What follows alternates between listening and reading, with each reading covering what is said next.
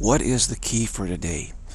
Practice in patience. Practice in patience. The same key as every day. So it's very simple, right? Don't have to remember something, some different key for every day. It's just practice in patience. We cannot be impatient. And this is, the whole world is impatient, isn't it? We understand that there's a lot of pressure, but we have to maintain our patience when we practice. I watched a video the uh, of Sri Nisargadatta Maharaj, the, uh, what is it called, the, uh, they discovered some, some video that, that nobody knew existed. And uh, this has been posted um, just this year, April 15th, I think. It's about a about an hour and a half video, and it's quite quite uh, interesting. And it takes a lot of patience to just sit there and watch it. But with patience, you begin to notice more and more and more and more as you're patient. If you're impatient, you're going to you're going to miss it. You have to be patient what I discovered was the uh, interpreter was was terrible, very bad. And fortunately, they put a, some text of, of the interpret of what Maharaj is really saying up there, and you compared that with what the interpreter was saying, and my gosh, you you cannot you could not get what he was saying from from the interpreter at all. Quite extraordinary. And uh, Maharaj was saying so many great things, actually. Wonderful, wonderful, wonderful.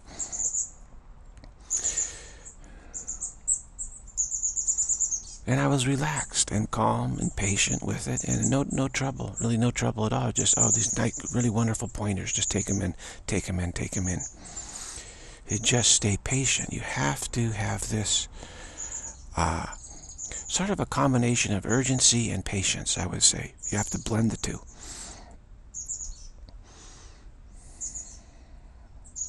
The fact that you're practicing means that you have a great sense of urgency But within the practice, you have to be patient. You have to be patient. Don't get ahead of yourself. Don't get in your own way. Now, we are in a tremendous challenge right now. The world challenge, and I'm, and I'm getting more and more clear about what's going on. It's really quite extraordinary. There is this massive global scam. It's a cosmic scam and it's it's a three-part scam is what I've found out now. Called the Big Mother scam. And again, three parts. There's the mother, and then there's the two squabbling siblings, so to speak. The, uh, the so what happens is there's this conflict between two two sides, and then the mother comes in and with the solution to the conflict. But the whole thing is set up. It's it's a play of arrogance, is what it is. And uh, th this is becoming into greater and greater focus now, and, and seeing it just wow.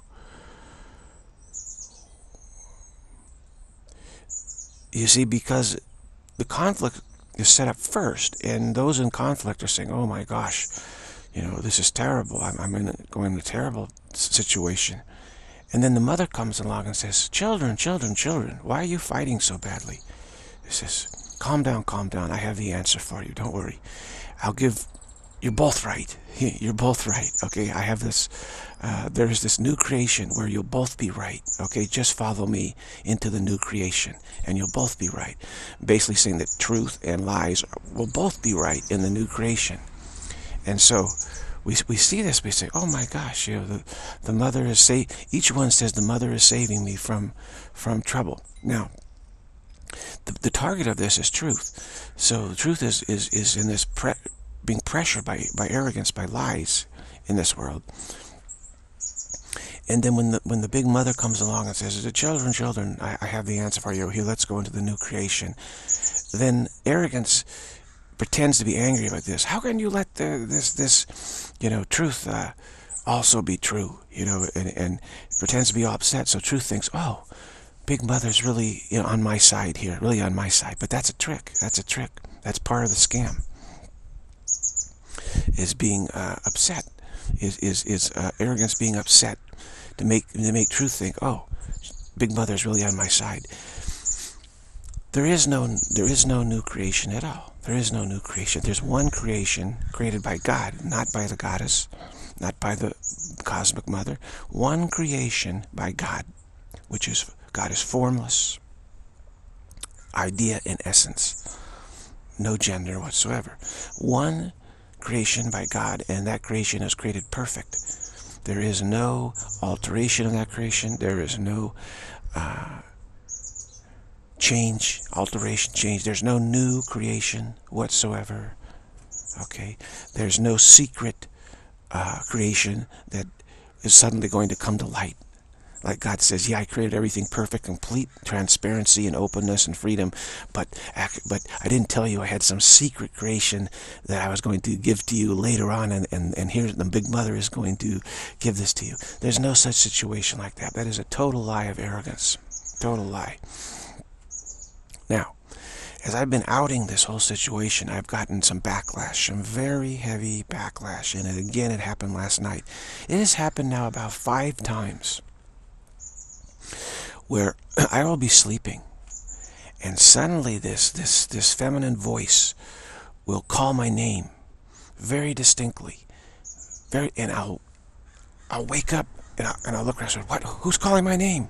You know, I'm, there's someone just here, just like as a speaking right into my ear, calling my name, right, you know, whispering my name right into my ear. And there's nobody there. Happened last night again, and I'm shocked awake, and I'm, and I'm actually, you know, it, it, it shocks my nervous system. It is really very bad. And so I, I'm starting to push back now. And I said, hey, wait a minute. I don't have a name. Your arrogance gave, tries, to, tries to give truth a name. Truth doesn't have any name. Isness doesn't have any name. God doesn't have any name. Reality doesn't need a name. Who, who, who is it that needs to refer to reality with a name? Ask yourself that. All is abiding as allness. There's no need for any name at all. Freedom doesn't need a name. So the fact that someone would refer to me with, with a name means that this is uh, arrogance. God doesn't refer to me with as a, as a name. God doesn't refer to any of us with, as a, with a name. We're nameless, absolutely nameless. So we can add this to our, I'm nowhere, I'm nothing, I'm never, and I'm nameless. I'm absolutely nameless. So this is the, vo the voice of arrogance. The Shakti is the voice of arrogance. The, the Shakti goddess is the, is the big mother uh, scam of arrogance that we, we're, we are generating this ourselves as a dream a dream of arrogance. And so she calls my name, you know, she says it's my name. And so I had to say, that's not, I don't have a name. You can't call me because I don't have a name. You can't call me because I don't have a name. So we have to break this this link with with arrogance, uh, the name, the link of a name. When you're when you're when the body is born, who names you? The parent. Somebody names you. Say, this is your name. I don't have a name. I always hated names. I've always hated names. I don't I don't want a name. It's not my name. I don't have a name. Uh, so this has actually reoccurred throughout my life where this this this voice, this feminine voice will call my name to try and distract me away from uh, enlightenment. So it must mean I'm getting very close because this this is now happening. This has happened over the last couple weeks, about five times now. It, God is not going to call call your given name. God knows you as, as, as spirit, as formless essence, as absolute freedom. You don't have a name. You don't need a name. None of us needs a name. In terms of reality, from from pra practical pragmatism here, we, we put labels on stuff, you know, as, as a, a issue of functionality. But we're not talking about that. We're talking about, do, are we, do we have a name in reality? Answer is absolutely not. Absolutely not. So I battled with this uh, arrogance uh, all this morning, and and and uh, I'm still shaking from from it. It's uh, quite startling to have someone call your name very distinctly and sharply and clearly in your mind. It, it, you know, it, it's auditory. So you wake up and you say, "Well, who's calling my name?" I, I, and I look around. You know, it's like, wow.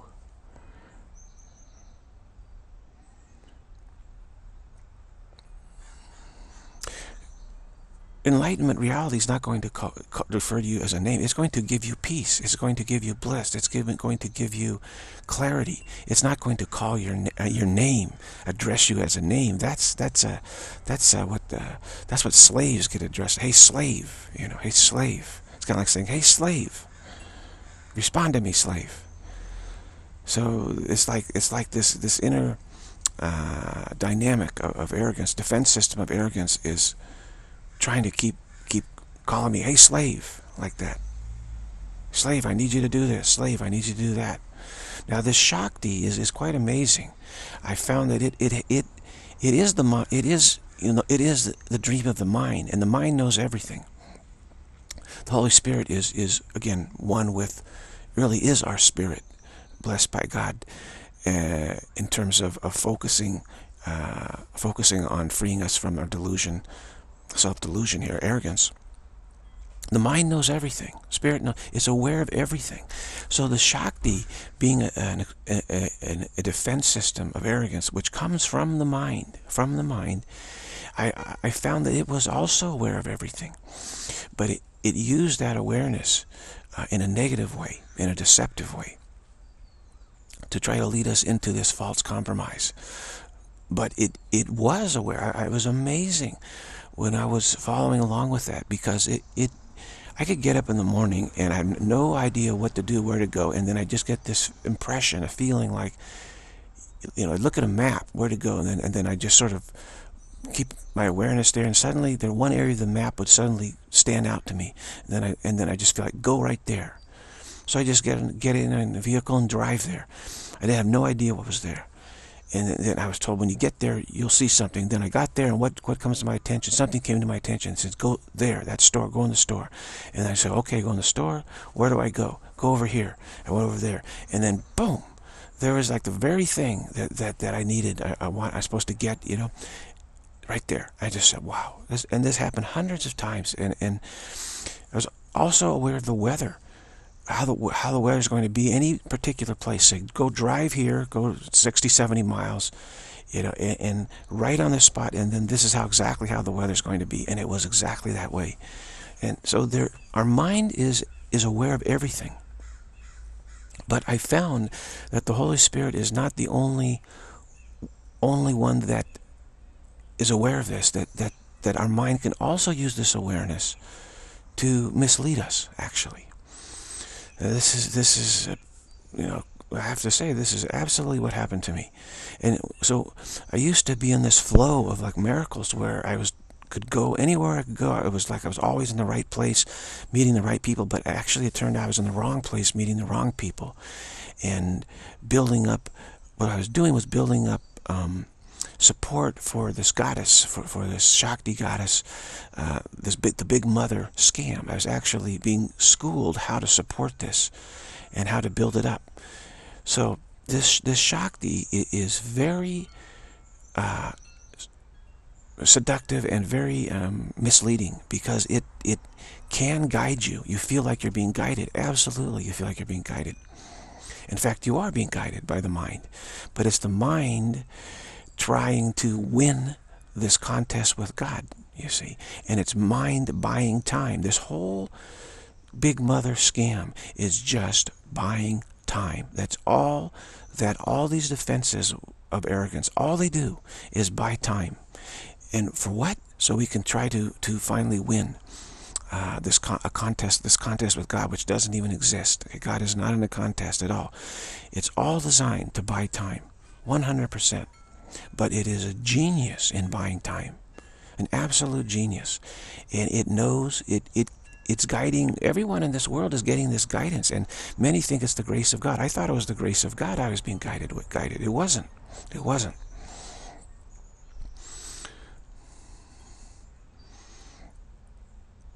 It, it was the the shakti, the the the the cleverness of arrogance, uh, which also knows, you know, its plan, its agenda, and, is, and, and uses everything, all circumstances, whatever happens, is, it's using everything to try and buy time, buy more time, so that the contest can be won. like a prize, as if reality were a prize to be captured or won in a contest with God. So this this voice of arrogance now is is keeps calling my name, calling my name, trying to get me to obey. You know, and and and I'm saying no. I really pushed back this morning. So I don't have a name. I'm nowhere. I'm nothing. I'm never, and I have no name whatsoever. I don't have any name. Nisargadatta Maharaj spoke about how it's so important you must set down your body identity. That identity that, that seems to come upon us once we're as we're born and grow up, we get this identity. Well, it, it, it centers on our name, doesn't it?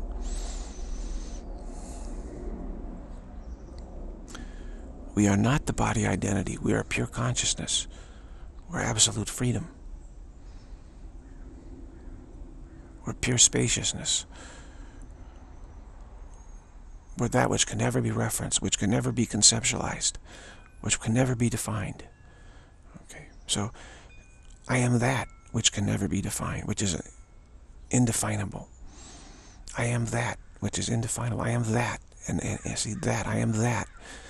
And uh, there's no name to it. There's no name to it. There's no name to reality. Absolutely no concept. There's no concept. Now, all of this needs to be uh, listened to in a spirit of repentance. Okay, has to be. Or you, where you, otherwise, it's you cannot. You spin your wheels. And it was so funny this this video of Maharaj that this this interlocutor, which is uh, the one who's kind of pressing these questions to Maharaj, the questioner, uh, was hilarious, absolutely hilarious. It was like perfect stereotype of, of the intellect trying to figure out what Maharaj was trying to say. So now, now, Maharaj, do you mean that there's these three different levels? I love is here, and then love is here, and then this, and and and and hilarious, absolutely hilarious. I was just roaring with laughter.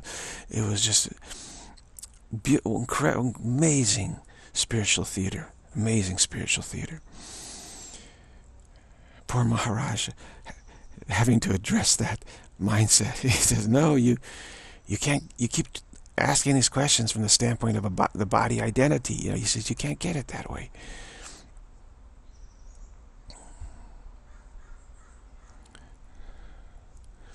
and it it just you know it just didn't get through to the the questioner at all. It just didn't get through.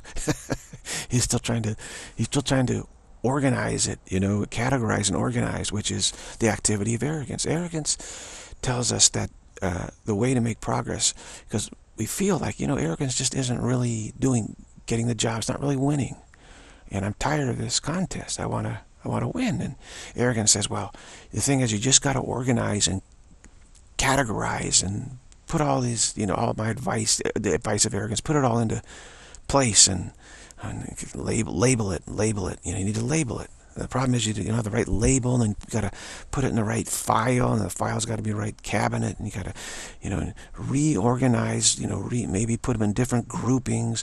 So all this activity is what we call left brain activity of, of labeling, measuring, categorizing, all this kind of stuff. This is the advice of arrogance. This is what it tells you to do.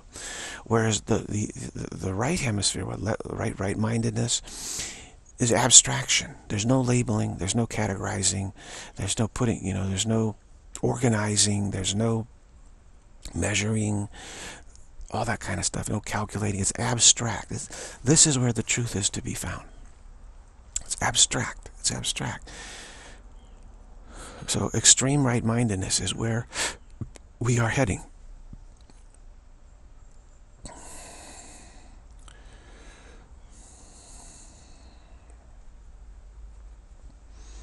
Now, just to shift shift gears a little bit, we're told that Jesus told us it's, difficult for a rich person to get in the kingdom of heaven, uh, to abide in, in non-dual reality.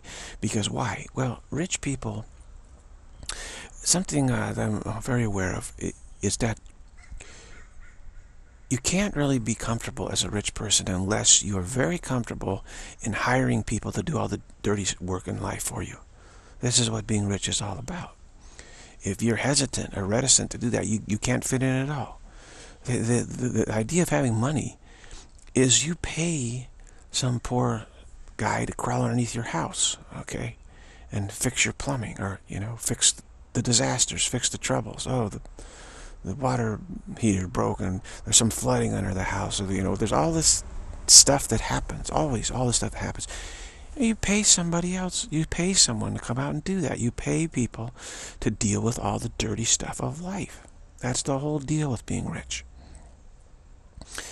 And the rich people are like, this is what they do. They, they're very good at it. They know how to have servants, hire servants, have servants, hire people to do all the dirty work. And, and, and they're very skilled and, and comfortable and used to doing this. Which is why the, the, the, the, old money seems to have a sort of, they're so relaxed and comfortable life because they're, they're, they've been doing this for generations. Generations. And they feel absolutely this is just, this is life. Whereas a nouveau riche, you know, have trouble with that. They fuss with it and, well, who do I hire? What maid? You know, what should I have them do? How do I pay them? How do I treat them? Can I fire them? You know, they're all, whereas the old, the old money, you know, they fire like that. They're, ruth, they're ruthless if you don't, if you don't do the right thing. Oh, okay, we'll get someone else, get someone else. And they're just, so they're just totally used to that. Now, I want, let me ask, let me ask everyone a question here. Uh, can you hire someone, let's say you have a lot of money, can you hire someone to breathe for you? Can you hire someone to breathe for you? Can you hire someone to eat for you? Can you hire someone to sleep for you? Let's say you're a rich person, very rich, and you can't sleep. Can you hire someone to sleep for you? Designated sleeper. Bring someone who's a good sleeper and go, okay, you go sleep there. I'll pay you, I'll pay you uh, twenty dollars an hour uh, to sleep for me. Does that give you rest? The rich person does give the rich person rest? rich person's hungry and you pay someone to eat for them? Give does it fill them? Take care of their hunger? Let's say you pay someone to be sick for you. You know, you got does that prevent you from getting sick? Pay someone to die for you. If you pay someone to die for you, does that keep you from dying? Well, the rich certainly try to do all this in some way. They, they try to think that somehow if they could just pay someone to die for them, you know, that, that maybe that will work.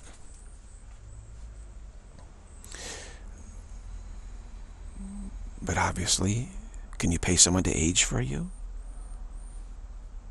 Pay someone to suffer for you? Well, you can pay people to suffer in doing all the dirty work. but the, the point is that obviously, enlighten, can you pay someone to be enlightened for you? Can you pay someone to abide in non-dual reality for you so that you get the benefits as a rich person? The answer, of course, is no. You can no more do that than you can pay someone to sleep for you. This is the trouble with being rich. Is Jesus said it's extremely difficult for a rich person to reach enlightenment. He, the rich person what was it, the, the, in the Decapolis, the east of the Sea of Galilee area, I think he was in the area of the Gentiles, or is this this rich young ruler, uh, prince or king, and and uh, said, how, how, how do I get in the kingdom of heaven? He said, give give away everything to the poor or whatever, and and follow me. And he said, ah, I can't do that. You know, I got I got too much wealth and responsibility. You know, I. Jesus says, ah, it's easier for a camel to go through an eye of a needle than a rich person to get in the kingdom of heaven. This is, this is what we're talking about.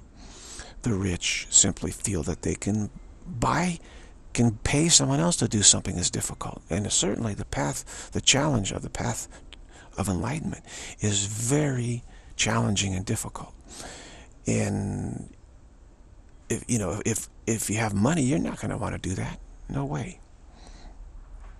So Jesus talked about the poor. Blessed are the poor; they shall inherit the heaven.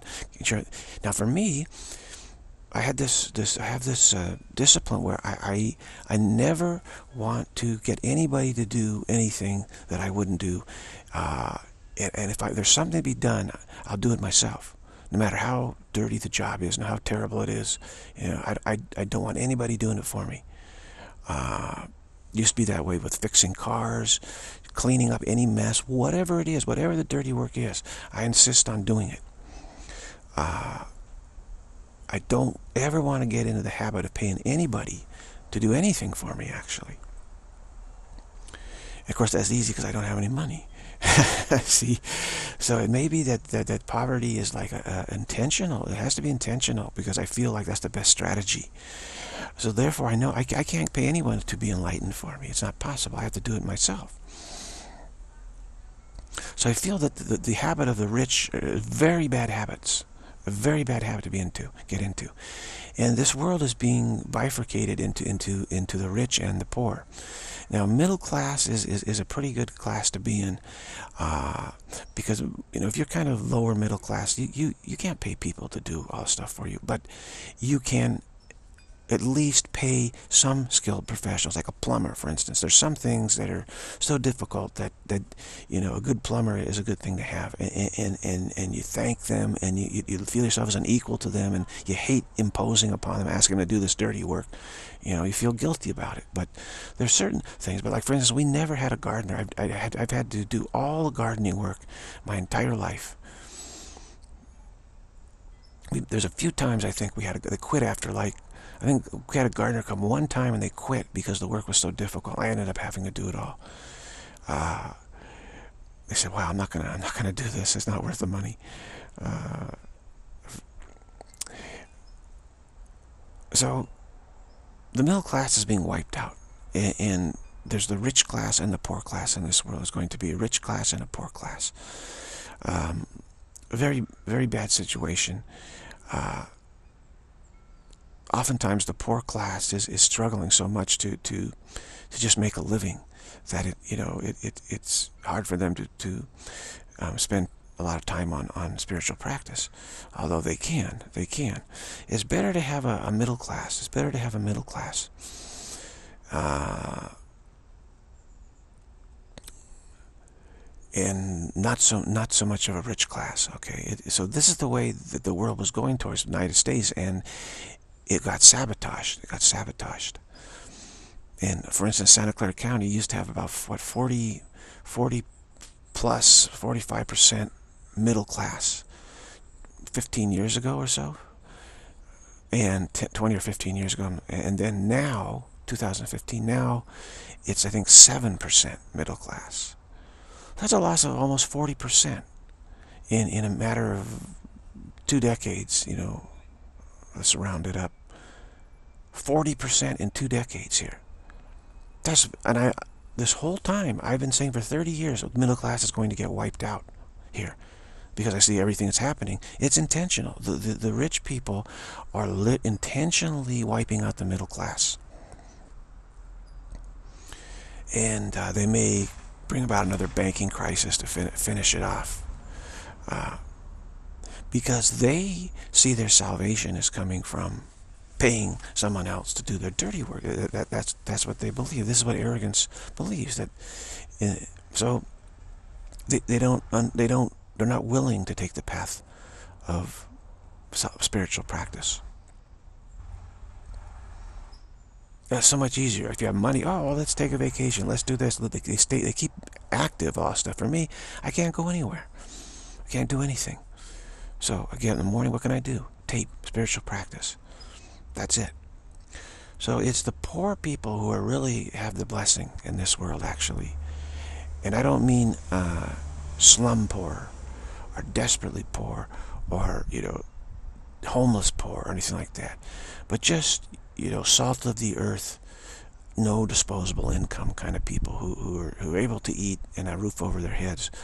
But other than that, can't do anything those are the ones that are really blessed because then you can get up and just sit and focus and, and it's free. Doing spiritual practice is free. It doesn't cost anything.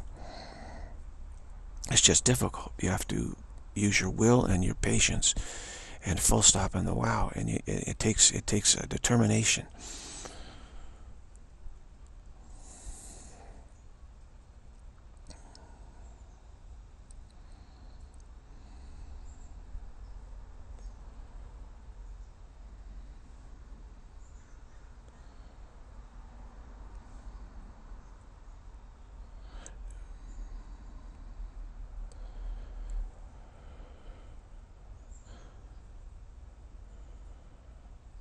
This is a, a, very important that the great prize is is is realized by often those who, who have no disposable income and have to do all the dirty work for themselves, who have to work hard just to earn, earn enough to, to, to, keep living. And uh, so what do they do? They get up in the weekend. What do you do? Well, go, go to your meditation area and, and spend eight hours meditating. He said, yeah, but I've been doing that for 30 years or 40 years. Yeah, well, do some more. you can't don't have any money to go anywhere. I say, God, how come I can't take a vacation? You know, there's no money to take any vacation.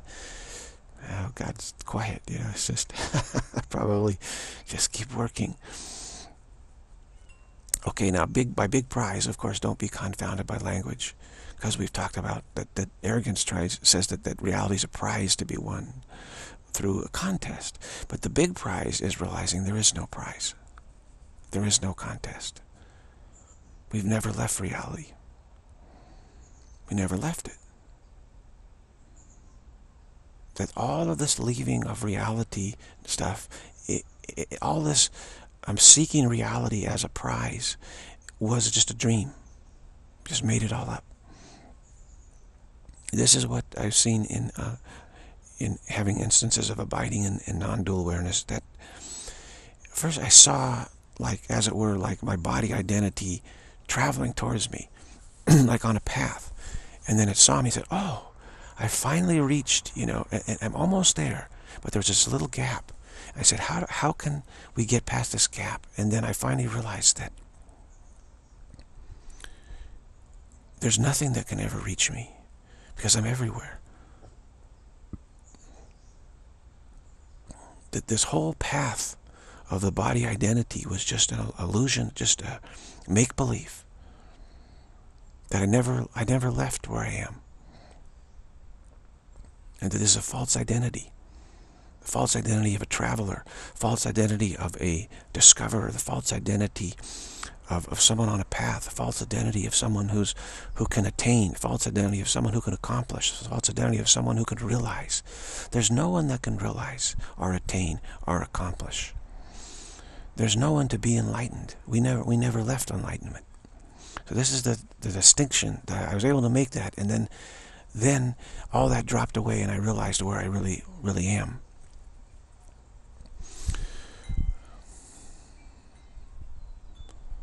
There's no winning. There's no attaining. This we have to go over and over. There's no prize to be won. So we say this is the path of no path, the path of realizing that there, there, there isn't any path to attainment. All paths are just aimless wandering, actually. Meaningless wandering around. Not getting anywhere, not going anywhere, not getting anywhere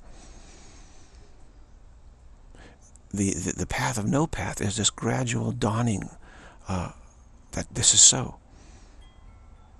That I never left, you know, I never left reality. You, you can't leave reality. It's everywhere.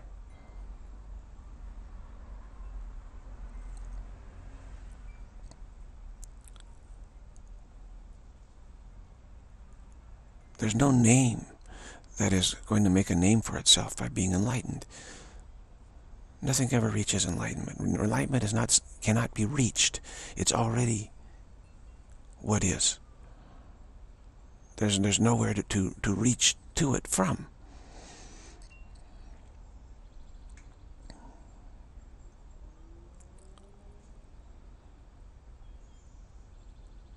So there's no attainment is, at all. Uh, this is what we have to keep keep reinforcing and get get more and more comfortable with.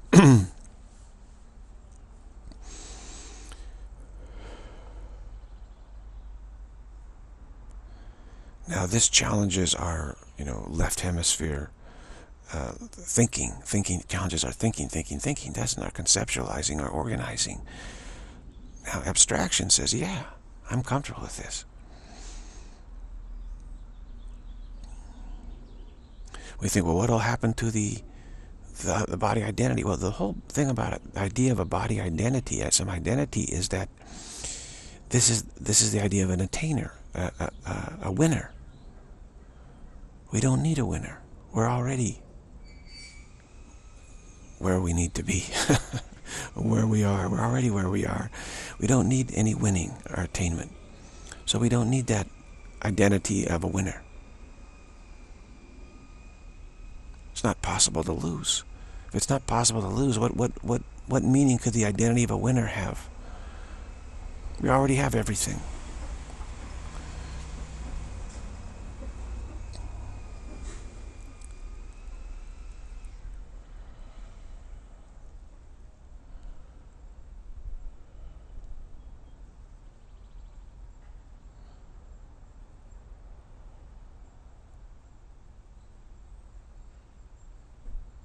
So this is, is producing a wow now. They're going over this.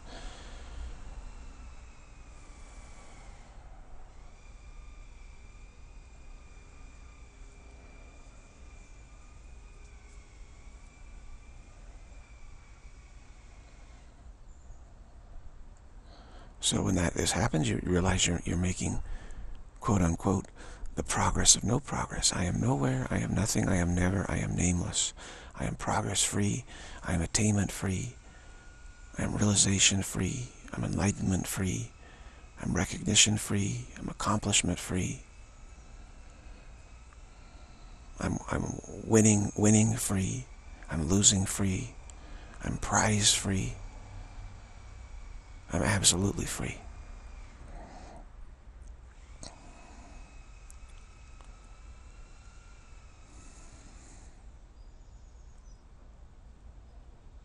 I'm name free, right? I am name free. Don't have any name. So whatever it is that's calling out your name, that's the deceiver. Okay, that's the deceiver. You don't have a name. They're trying to tell you that you have a name, which is trying to hook you into body identity. All right? Hook you into the one who wins. And then they're going to tell you, well, that they know how to win. And since, and then if you believe in winning, you you have to believe in a new creation where, where both truth and lies are true. There's no other way. So as soon as you as, as soon as you believe in a name, you believe in winning. As soon as you believe in a name, you believe in body identity. You believe in body identity, you you you believe in winning.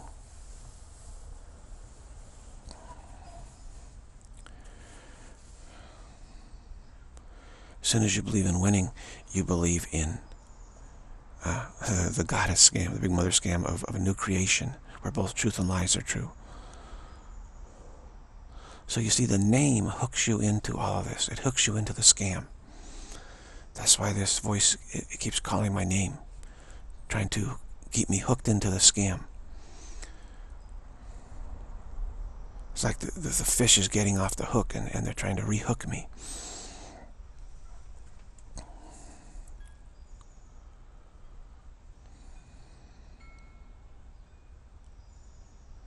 Of course, the, the rich, powerful and powerful want to you know try and force the poor into being winning for them, being enlightened for them, so to speak, to to join truth and lies. And since truth and lies cannot be joined, which is something that I discovered and personally, I, I, I mean not personally, but my being experienced this attempt, and I found out it was impossible. So I know it's impossible. And yet I found out that then the, the arrogance uh, becomes ferociously angry. It actually just, you know, utterly furious and demanding, you know, and, and, and vicious. And this is what happens when you when you have this, the rich and the poor. The, the poor get get exploited by the rich. The rich demand that the poor get win this prize for them. And so they, they put pressure upon the poor to, to do that.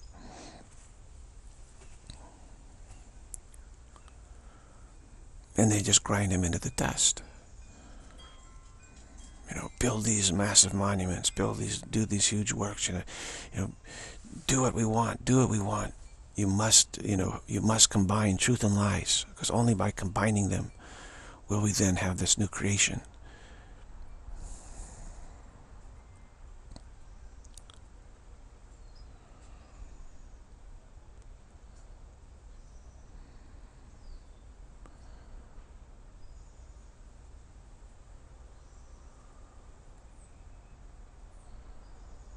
Now, the poor are not some kind of holy people or anything like that. Uh, they want to be rich too. It's just they're part of this scam, that there's some way to accomplish the impossible by having both having just the rich and the poor, they feel that this is the way to do it. So they're in on it too, actually. Whereas the middle class is not is not so into that actually. They say, "Well, we don't really like the rich or the poor," and this is no. Let's let's. Uh, the middle class are suspicious of both the rich and the poor. They say there's something that isn't quite right about this setup. That's right, it's not. The, the, so, so you might think you could go to the poor and uh, they'd say, oh yeah, we know, we're all for what you're saying. No. They say, no, no, no, we want to be rich too. We, I mean, we, we want to win too. So it's this is part of the strategy of arrogance. Now, being having no disposable income, if you have a middle class attitude, that's that's probably the best combination of all. You say, I don't want to be either rich or poor, okay, I, but I have no disposable income, so let me just let me work on, uh, you know, uh, the the the path of no path. Uh, so again, don't think you can be a champion of the poor and, and the and, and, and the poor will understand what you're talking about. No, no, no. They just believe that, you know, they're, they're going to, this is what will get the job done, is if they're pressured and forced into, uh, forced enough, they can get it done. So really they feel like they're going to be the heroes. And the rich people are necessary just to, you know, to have the authority to to force them into this, to pressure pressure them. So it's like a it's a pressure scheme, a scheme of pressurizing ourselves to try and force us to be able to accomplish the impossible. And the goddess is, is, the third part of the scam, is the goddess is uh, the marketing aspect of how this is marketed to us. We market it to ourselves. Uh, she says, look, I'm, I'm the great mother. I can give birth. I'm able to give birth to a new creation. But first you have to show me that you're worthy, right? You you have to show you're worthy of this. What, you, what they're really saying is you have to actually do it.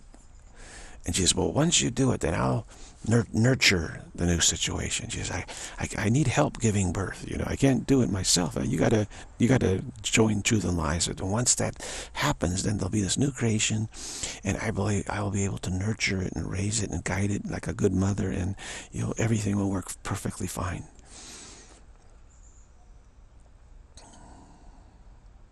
So she reassures, don't worry, this scam will work.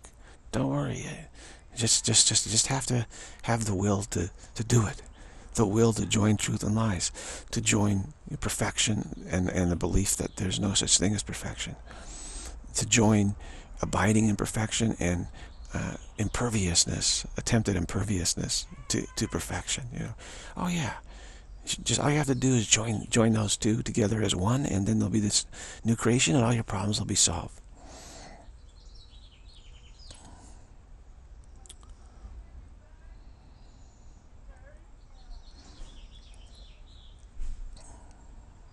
So I spend my time among all three classes, rich, poor, and middle class, and and uh, the middle class are the ones who have the most openness, you might say. They used to, but but now they've been under siege. They, they, you know, they, everyone is scrambling. Oh, I can be rich or poor because there's not going to be any more middle class. So that's sort of disappeared. But the, neither the rich nor the poor actually uh, have uh, any sort of aptitude for for salvation. The poor just want to find out how to get rich how to survive and then how to get rich.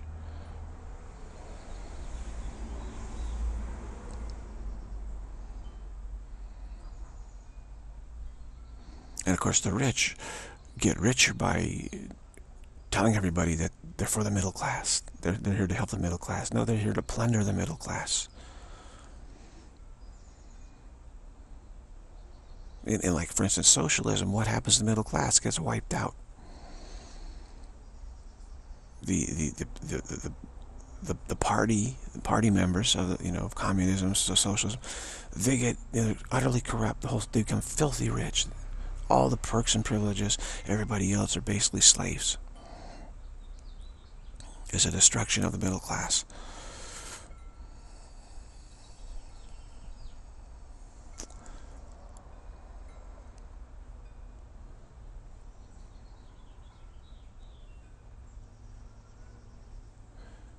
in order for for capitalism to work, you have to have you have to control your borders. You cannot allow capitalism to simply keep importing super cheap labor, super cheap labor, super cheap labor.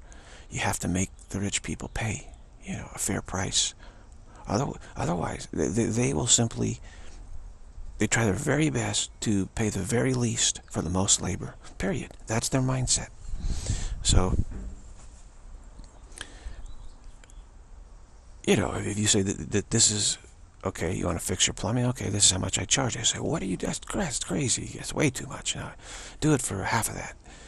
And you say, no, I mean, I have to earn a living wage, a middle class wage, and uh, this is what I have to charge to do that. And they say, well, we'll just get somebody else. They say, okay, go ahead. They call somebody else, same wage, maybe more. You know, they call somebody else, same, same.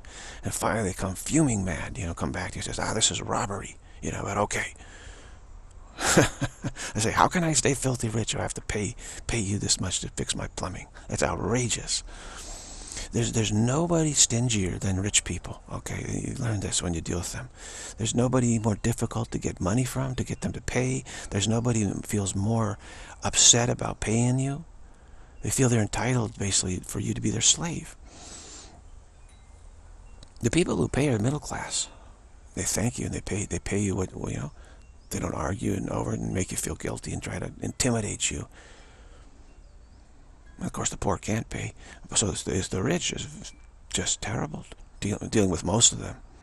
You know, it's really uh, amazing. So they, you have to make sure that they don't rig the situation so they can pull in all these very destitute poor people and have them work as slaves because then that just completely undermines the middle class, which is what's happened in the United States.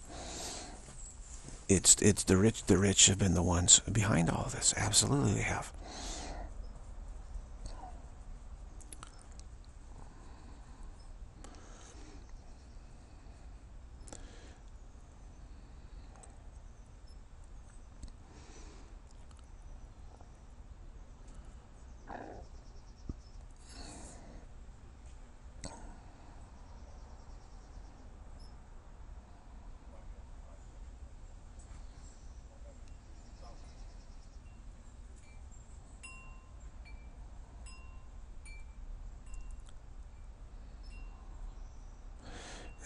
With the middle class was that they, they tried to be too competitive with one another, and so they spent too much time fixing up their house and gardens and trying to, you know, it, the thing about middle class is the, the good thing is you should you shouldn't you shouldn't try and and put on airs to compete with the rich. You know, just have a simple house, simple stuff, but you're not destitute you see, and, and, and you got time on the weekends to, you don't have to be working weekends too, and, and evenings too. You don't have to have two jobs. A lot of rich people have two jobs. Uh, you work weekends, you know, and it's very, you know, middle class, maybe, you know, you get some vacation. You get, where you have some time to take the spiritual path, time to get in, to read books, time to do all this stuff. Very important.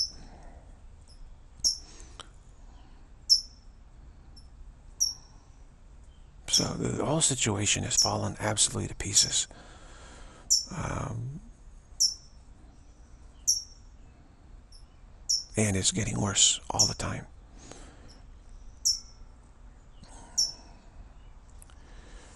So we're just, we're just letting this wow. See, we're just working through this wow. Sometimes just shifting gears helps out a little bit.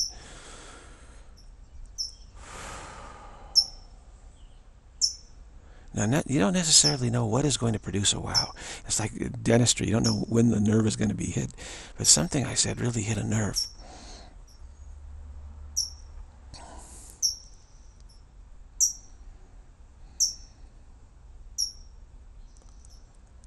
Again, the central scam is, is this compromise thing uh, of let's make both truth and lies true. The, the, the mother comes in, that there's two fighting siblings, and they sing.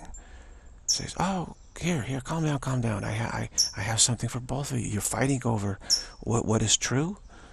and you think this is true, and, and you think this is true, and, and, and, and there's an impasse, and, and, and they're, they're um, mutually exclusive positions, she says, well, guess what? You're, you're both very fortunate because I have a way to make both of you happy.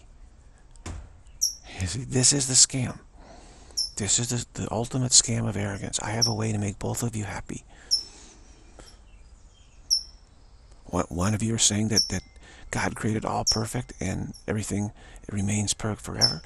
The other says that, that reality is not perfect, it's imperfect. Okay? And obviously these are mutually exclusive positions. And so either one or the other has to be right. You can't both be right. But the big mother comes in and says, oh, children, children, children. You know, you don't have to keep fighting forever. You know, how can you resolve this? There's just no way to resolve it, but I have a way. You're both right. You're both right. See, this is the scam. Okay? Keep working on at this.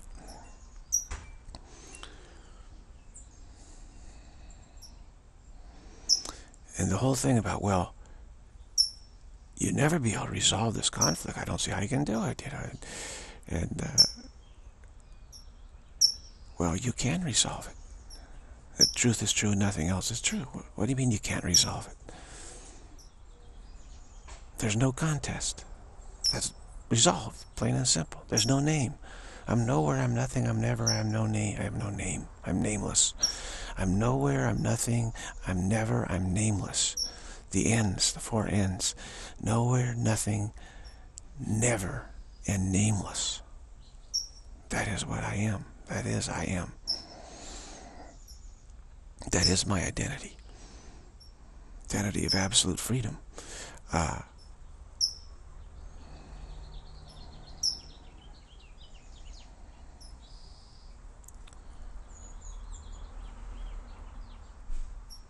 So again, what is the scam? There's a, there seems to be this dispute between perfection and imperfection, between truth and lies, between reality and arrogance, and we, are not sure how, how do we you know resolve this dispute. It seems so difficult, so, so we're so confused, it's so confusing. And instead of taking the spiritual path, taking up the challenge of, of, of the spirit of truth to do right spiritual practice and manage your success, which is what's so difficult. Instead of doing that, and of course, society continually keeps trying to be, arrogance tries to keep arrange society and culture, so it makes it very difficult to focus on the spiritual path.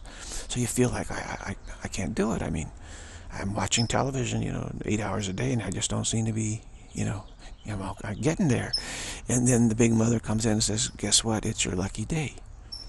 Because what she says is, God created me as a special creation. It's been a, kept it secret from you.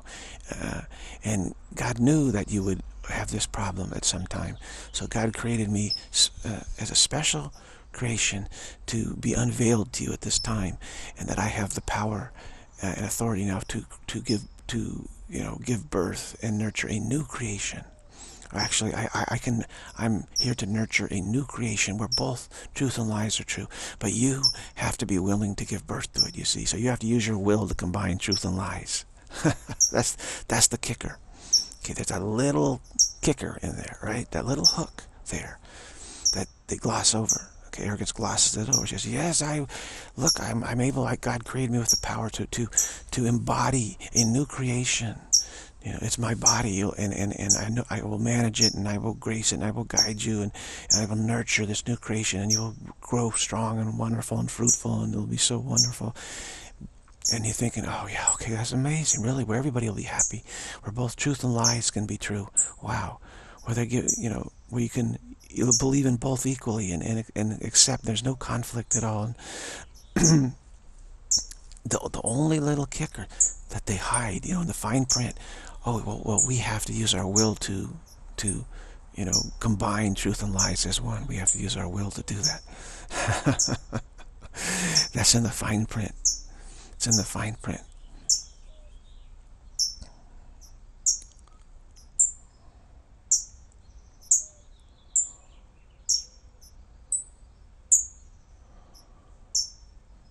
And of course, you Can't do that. When you try to do that, you get mental chaos.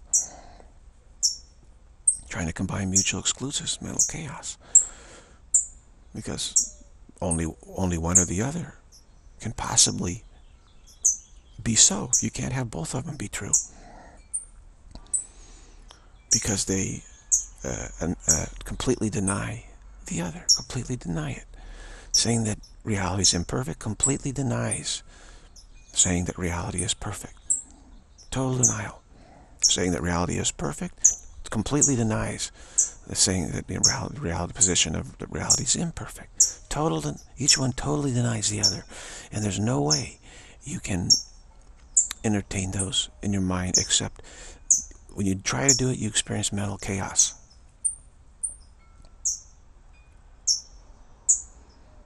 And that mental chaos doesn't combine the two. It does not. It's just that you can't really, you don't really know what's going on. It's just, it's so chaotic that you, you, you know, you're not really sure, was there a process here of combining or, you know, what's going on? So you can feel like we can say, well, I'm not sure, you know, not, I don't know. But mental chaos is so utterly opposite of what we really want that we, we, we you cannot abide in it at all.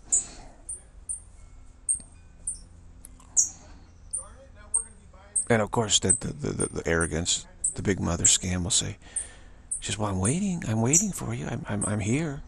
So she always seems all good, right? Just, I'm, I'm totally ready to, to take my, to play my role in your salvation, uh, in this new creation. I'm totally ready and able to. And, and, and, and so she always seems um, uh, irreproachable irreproachable. She says, well, as soon as you do your little role, I'm only asking so such a little thing of you, you know, just use your will. You, you, you should, it should be a problem for you. As soon as you do that, then all my goodness will be poured upon you. You see, I'm all good, except I, you have to activate the goodness. And so, so she always seems to be, you know, irreproachable. And yet, complete scam artist. Okay? Doesn't have anything for us. It's easy to, to say you've got everything for for someone as long as they take the first this first the step first, and that step is impossible, right? You can claim anything you want. You, can, you know, as long as you say you get this as soon as you uh, do the impossible. And that's all that's being said here. All we're saying to ourselves is, yeah, we, we get to have both truth and lies true as soon as we accomplish the impossible.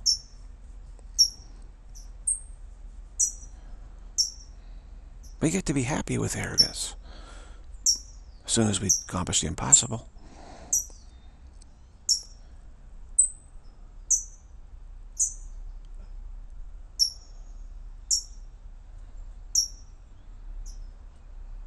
We get to be, you know, we get to have a new creation as soon as we accomplish the impossible and destroy the old creation. destroy creation. As soon as we destroy creation, then we'll get a new creation. Easy to promise that. So we can we promise this to ourselves. It's just an idle promise. Empty promise. Completely empty. But we can fill up that emptiness with all sorts of fantasy of how good it's going to be and how great the, the great mother of the new creation is is and and of course it, it really isn't is because we're not experiencing it right now are we so it's in time as soon as we accomplish the impossible, then we get it. So it's always contingent. What is contingency? Belief in time.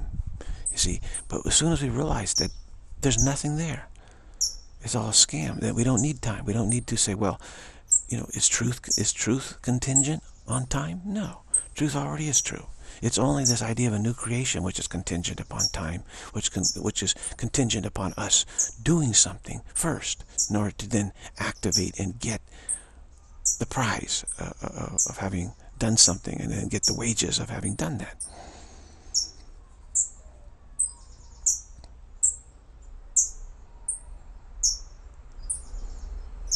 But with re reality, we don't have to do anything. It's already present. Don't need any time at all.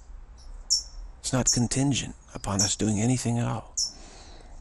Whereas this scam of, of the new creation is contingent upon us combining truth and lies, which is impossible. So it's contingent upon some action, some doing. So we have this idea of doership. We need to do something. We need to have an identity that, that can do something in time. In other words, we need to have a time-based identity, we think. And this is this is the one who who wants the prize, who's coming to, to us as the prize, bliss, truth, happiness, having done something. And then what we have to realize is that nothing has been done. Nothing has ever been done.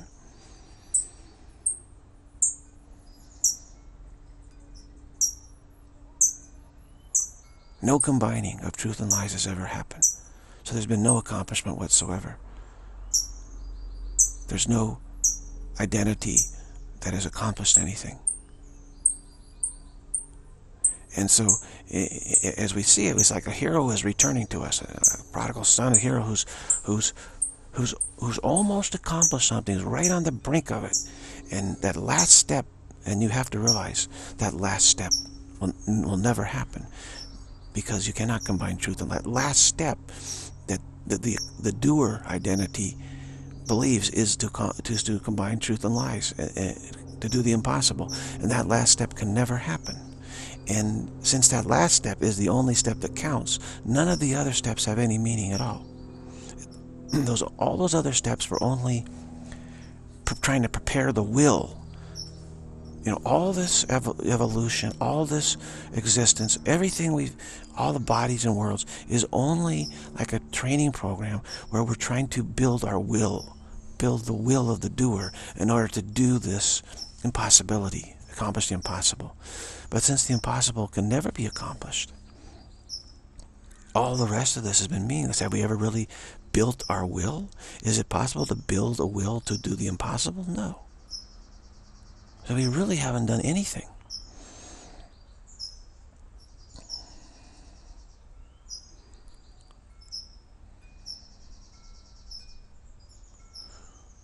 We've just been wandering around telling ourselves that this is building our will. Now the will will is never built. Will just is. You cannot build a will to do the impossible. All we've been doing is using images and memory and reactions and, and you know, to try and, and, and then say, this is building our will up, building our will up. And so you, you get the situation where you see this doer identity, this pilgrim on a path who's now one step away from you, non-dual reality, beingness. And you're aware, you see, who is this pilgrim? I see a pilgrim coming to me. And and and you, you're investing them. You see, you got you got to do this. You got to take that final step, and you, and you won't. You know, you, this is important for the beingness that, well, then you have to realize it's not important for the beingness, and that final step can never be taken because it's it's it's just there's only one step that we're trying to take, and that is to combine truth and lies, and that can it's impossible. So, the whole notion of of, of, of a path, we have to realize everything we've tried to do was was just a silly, aimless wandering around. There's no momentum to it at all. We've never generated any momentum towards our goal of accomplishing the impossible. We've never generated any momentum. Never will.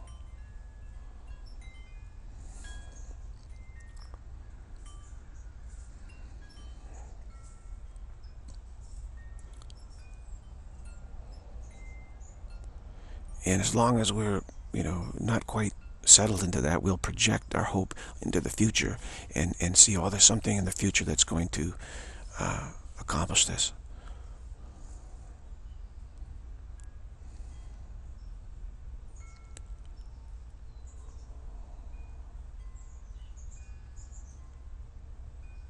Now, there's this dream of, of, the, of the light defeating the darkness. What is darkness? We, we project darkness as, as, as if it's the resistance to accomplishing the impossible. Somehow there's some sort of uh, resistance to this, and we have to defeat that resistance some lack of will, which we symbolize as darkness. We have to defeat that. But that's so that's just all you know, complete scam illusion too. The idea of the light defeating the darkness. There's no darkness in reality. There's no lack of will. There's nothing, no momentum required. There's nothing that has to be done to accomplish something. Nothing has to be done first. There's no victory that has to be won. That's all a total, del total delusion.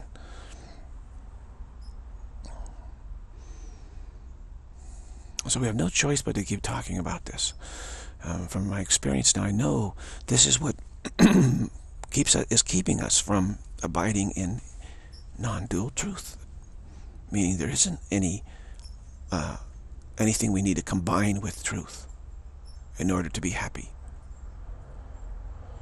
For so long we believed that our happiness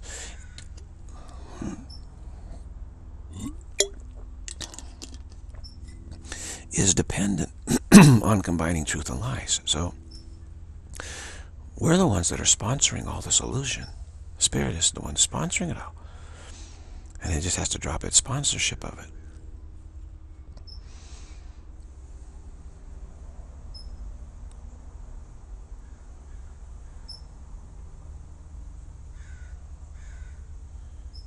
It has to stop viewing reality as as as uh, some sort of you know, loser con condition of position of a loser.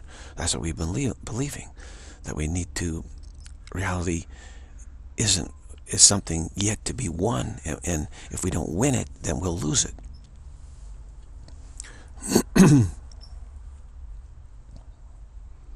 so we automatically assume that the condition of reality uh, is a uh, if we don't win it, then, then it must be that of a loser.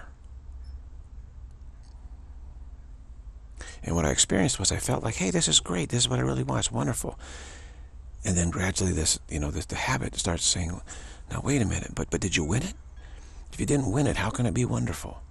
And you, and you start, but there's nothing in reality that, that doesn't feel perfect. But you start thinking, well, how can it be perfect if I haven't won it? You know? Perfection is something that has to have to win. I have to accomplish it.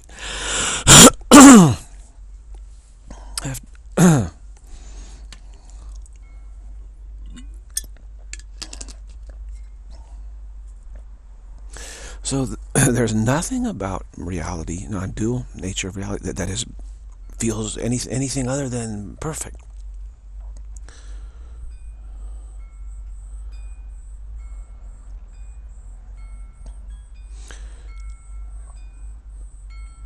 So in, in experiencing it, it's not like you turn your attention away from it because it, it feels bad.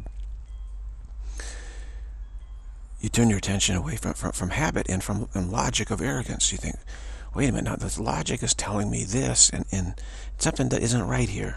And, and so you, you feel like, wait a minute, I need to kind of resolve what, what is it that's not right? The logic of arrogance is reaching this conclusion, and I'm experiencing that it's all perfect and, and there isn't any problem with it. And so what, I'm going to lose it in the future? You know, what do you mean future? There's no future, no time here. Oh, that, some, that someone is going to change reality, that's going to be reborn in the future? I mean, that's the fear. That there's going to be a new creation and we're going to miss out on it. you know, we, you know, that creation is going to miss out on new creation that you'd have to put in the work of developing your will to combine truth and lies. and if you don't put in that work, then you'll miss out on the new creation.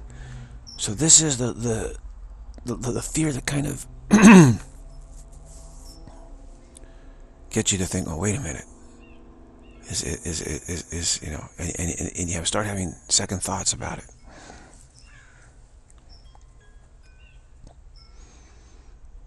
You're thinking, oh, am I going to miss out on, on a new creation? Because I see the light seems to be defeating the darkness up there in the future, you know. But that's all choreographed, okay? It's all just a dance that's being choreographed. That some aspect is representing resistance to success and some aspect is representing, it's like an opera. I mean, it's all staged.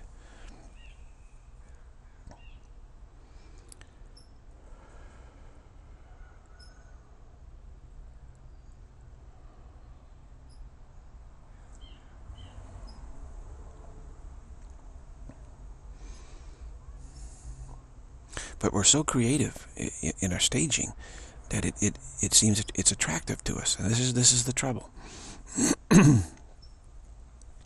we're attracted by our own creativity and, and seeing, you know, how is it going to work out? How is it going to work out?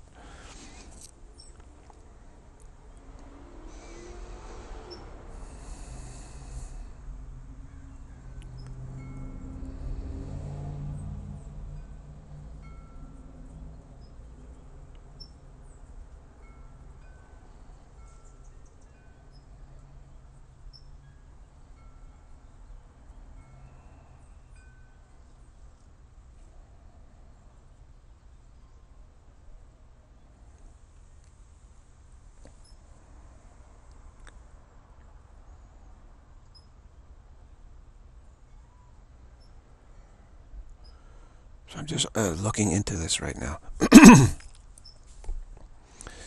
uh,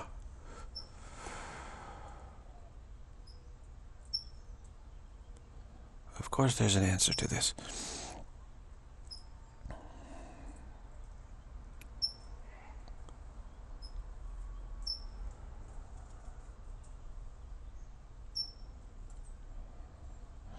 So I can feel the answer's about ready to emerge. So this is a wowness, wow in itself.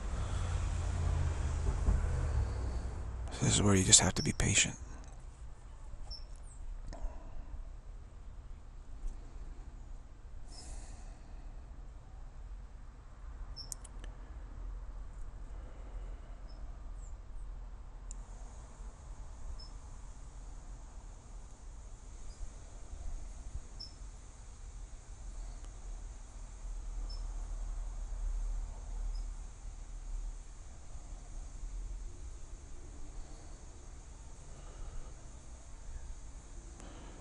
So just let it emerge and don't try to pull it up. You know, it, it's, it's coming. It's coming. This is where the patience pays off. We're, we're getting quite close to it. You know, it's, it's, I can feel it. And it's sort of causing like an ache in me. You know, it's like, wow, this is a really bitter, you know, bitter pill to swallow. Like, so.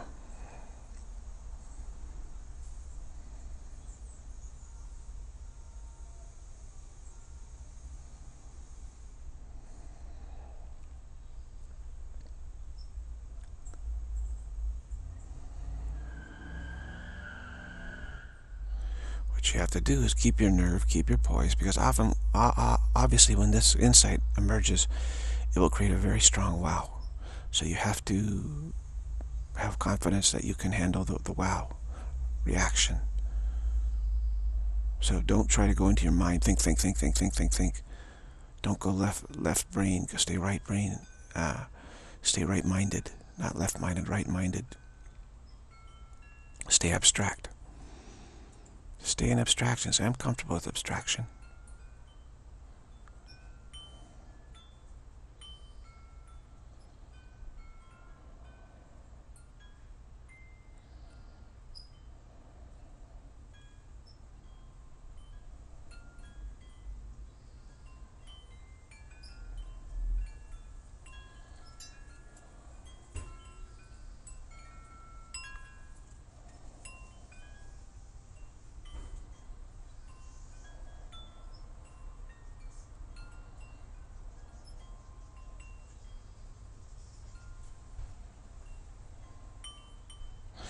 Again, let's reiterate that the, the, darkness that we see in the future as being defeated, what is that darkness actually? Actually, all, all that darkness is actually the way that we symbolize uh, and portray in our imagination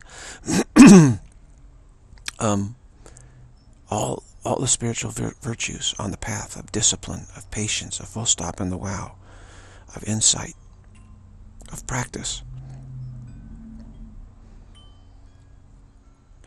All that is portrayed as, as the darkness because we, we feel that that's what's causing us to lose. In other words, accepting reality as it is, we, we feel that's, that's losing. We have to win. And we believe that we're in a contest with God, that we have to become impervious to truth, and that's winning. So anything that, that allows truth to permeate us, uh, we feel is darkness. It has to be defeated. And so we feel that, that, that we can defeat that, but we just symbolize it and then cause the symbolization to dissipate. Of course, you can never cause it to dissipate entirely in this scheme. It will always be end up being concentrated more and more. And then you ultimately end up with one like solid black, very, very dense, dark black hole, as it were. That you just can't deal with. Because ultimately, that's the truth, that you cannot combine truth and lies. And, and our imagination then condenses it down into this black hole. Okay, now I'm seeing that. Wow.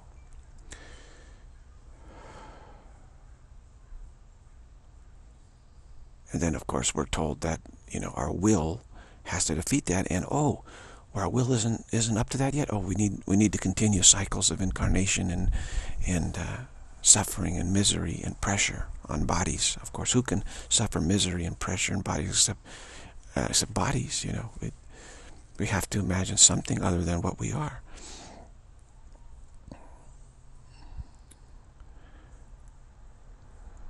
So it doesn't resolve in time. It doesn't resolve.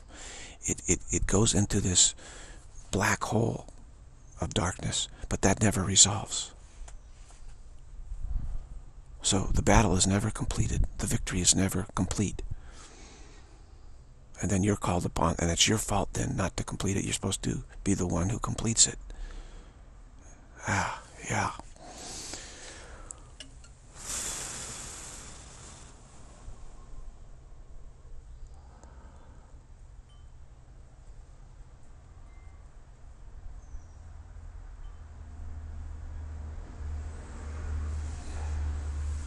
So this is this is breaking the spell of the future, as it were, breaking the spell of time.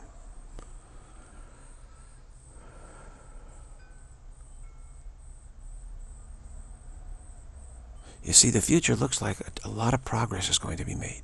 It's always we always are able to project a future and look that make it look this way, because we we we we have it a dualistic where the good, the light, um, seems to be diminishing the darkness and winning.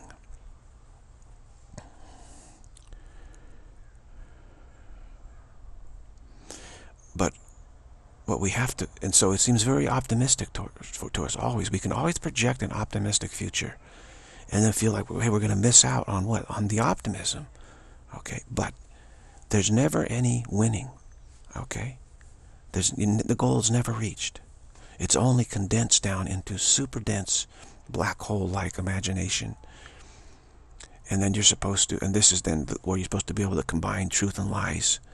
And the inability to do that is this extreme darkness. We symbolize it as this impenetrable darkness that somehow we're not able to penetrate and completely eradicate that darkness.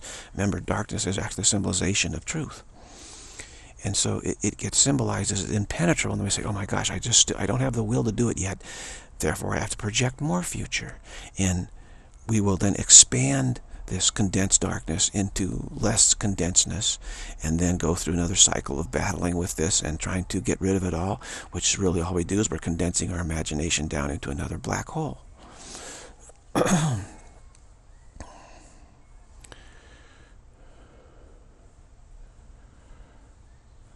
wow. Yeah, this, this is a big wow.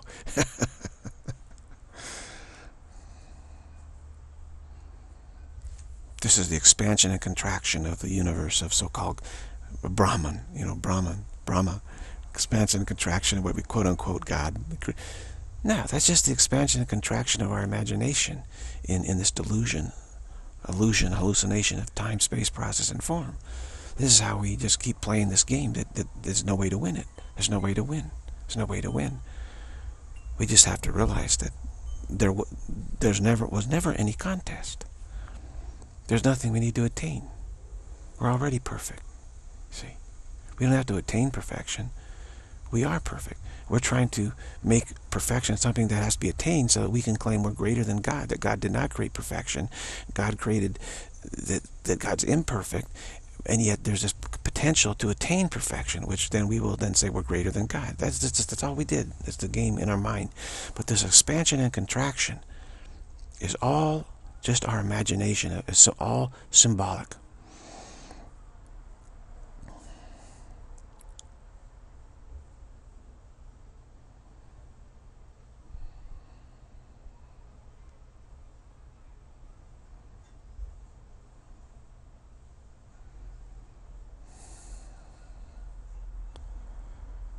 Now we just have to practice full stop in the wow, right? Once you get there, you know what to do once you get the insight. Oh, full stop in the wow. Otherwise, you'd be scrambling. What do I do? What do I do with this? What do I do? What I don't to do? Now it's, oh, I know what to do. Full stop in the wow. No problem. So any insight can arise, you see. Even the greatest. And we say, I know what to do. Next. I know what's next. Full stop in the wow. So you see how, how this, this practice is so, so successful is you, you know what to do. You always know what to do. No matter how great the insight.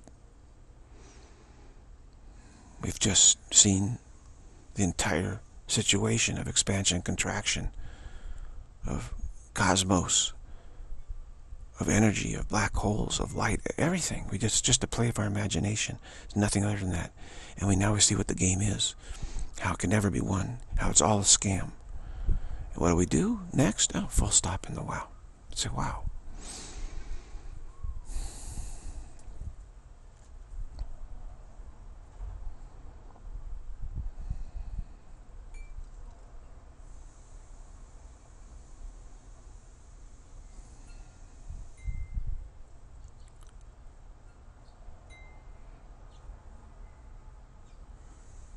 You can see history. History is nothing but optimism. Always.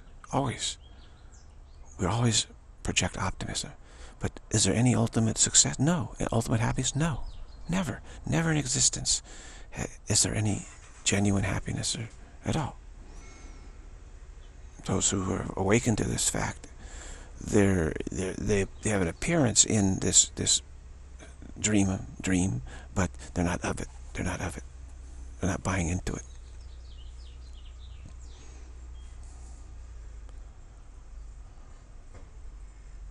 Look at every generation. Well, they're optimistic. Yeah, well, we see a way to get it done. We see a way to triumph over darkness. We see, a way for, for the good to win. We see a way, you know. And what they're saying is we see a way to severely limit it. And then uh, from there, we'll see how that goes, too.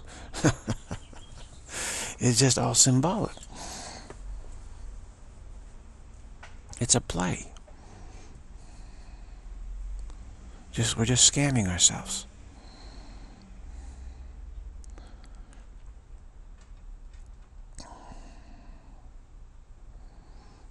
How we doing here? Going pretty good.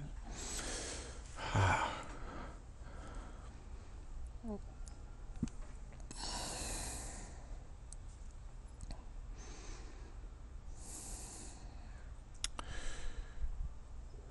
So when, when you do, you know, right spiritual, effective spiritual practice, you absolutely have to have that as full stop in the wow. You absolutely have to. Otherwise, how can you make significant progress? If, if you're going to succeed, you're going to have like tremendous success, right? Well, how do you manage that success? How do you manage it? What do you do next once you have a break, tremendous breakthrough like this? What do you do next? You have to have a plan. You have to, to be skilled. What do you do next once you have a breakthrough? Otherwise, what, what is the practice? Are you avoiding breakthroughs?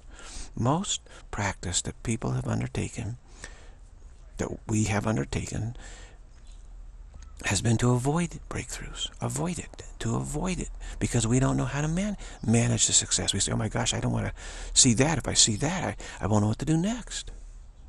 See? This is the trouble. This is the trouble. So you, we have to have a practice which successfully manages tremendous success. Otherwise, we will absolutely not have tremendous success. We will avoid it. Now, it's we're so clever and creative, we can conjure up all sorts of practices that, that seem real spiritual, but that avoid success. We simply don't allow it to be touched by it. And we can throw in all sorts of, of spiritual terminologies and concepts and sentences and references and name dropping and everything. We can throw all that in there. But, but we can keep the insight from touching us. We can keep the breakthrough from happening. We can chant all we like. Uh, we can uh, do, you know, anything we like, anything at all. We just, but we can just avoid success, which is what most do exactly that. And then they claim that there's something wrong with God. The grace of God's not working for me. I, I spent my lifetime doing this and this and this, and it didn't work. And so become bitter and say, God is a deceiver. You know, I thought I could be helped. No, we we simply uh, avoided success. Didn't practice right. Because we're still thinking that the future looks so optimistic. So I think I'm going to, I think I can become impervious to truth and then win. We think that if we're impervious to truth, we can then combine truth and lies and, and it won't cause mental chaos, you know. it's not true because we're not impervious to truth. We are truth.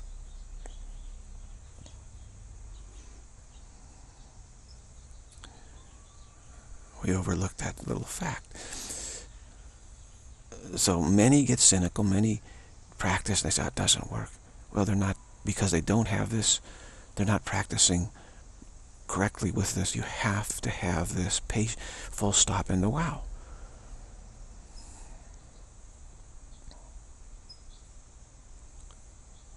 So now that all this is, is brought to light and clear, you know, and don't be afraid of, of, of, being serious about spiritual practice as you as you continue to be keel-hauled uh, through the optimism projected into the future, which you will be. Everyone will be until they get, you know, get free of this. Trust set down this delusion, this scam. Uh, have confidence and faith. Say, no, I, I can get free of this because I know the first step is to learn how to manage my success. And this may seem arrogant. See, the arrogance says, how arrogant of you. How do you know you're going to have success? right? Well, uh, success cannot be avoided. You know, we can't avoid being what we are. So we have to accept that we're perfect. And arrogance has to be set down. It's unavoidable. So you must take a stance against arrogance. And again, you must realize that to set down arrogance is not arrogant. And arrogant will tell, tell you that arrogance is true and that truth is arrogant. And you must say no to that. Say, no, that's fundamentally flawed. And then, then the first step is to learn how to manage your success. That's the first step. And arrogance will claim that you're arrogant to do so. And this is what trips everybody up. You're not arrogant to do so. In fact, you have to succeed in setting arrogance down, and you will succeed. And the only way to do it is to is to learn how to manage your success. So that's being non-arrogant. Setting arrogance down is non-arrogant. It's humility. The humility of realizing I can't change what I am. I can't change that I'm perfect. It's impossible. That's humility. So the first step is humility. And humility then says, okay, I have to learn to manage my success because I'm going to succeed. Humility will succeed. You know it will succeed. I got no choice. I can't combine truth and lies. There's no way. So I must be humble and realize I can't do it. I can't win. And so there's and there's no contest with God. I can't win. So humility then says, okay, how do I manage the inevitable, you know, success in setting arrogance down? And then it starts, you know, practicing in the right way. Says, wow, I've got to, I'm having these breakthroughs. What, what do I do with this? What do I do next? So we have this understanding now, very clear.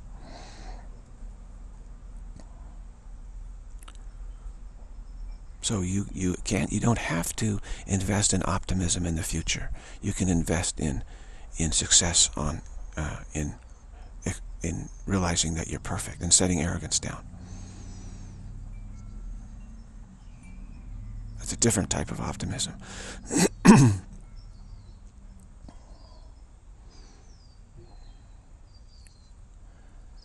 so the first step is to focus on what to do next once the big insights start arising, the breakthroughs arising, as they will.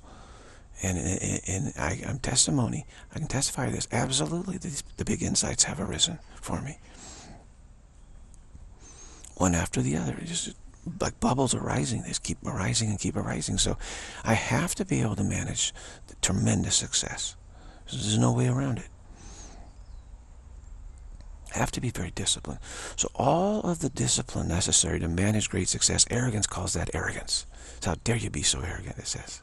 How can you uh, assume that you're going to have all these breakthroughs. You, you shouldn't. You should have the breakthrough first and prove you can do it before you think about how to manage it. And I say that that's backwards. First, focus on how to manage your success. And then, only then, will you feel comfortable enough to allow the, the, the breakthroughs to arise, the big ones. You can have little ones and that cause so much backlash and trouble. But the really big ones, the fundamental ones, won't arise until you know how to deal with the, the shock of, of, of, of a rise, the wow of it all. Absolutely. You will not do it until you're able to do this. So, arrogance. So arrogance attacks all of the discipline and skill around this full stop and the wow. And it does this culturally, which is what's happening now. The culture wars are trying to, to destroy and to demonize the discipline, the spiritual discipline that we've built up throughout the ages, actually. It's been going on for a long time. I mean, you had the Vedic culture, you had the, the Jewish culture, you had Chinese culture, it's very ancient too. And you have these various um, Egyptian culture, ancient cultures that did build up through a lot of trial and error. You know, they did build up some disciplines.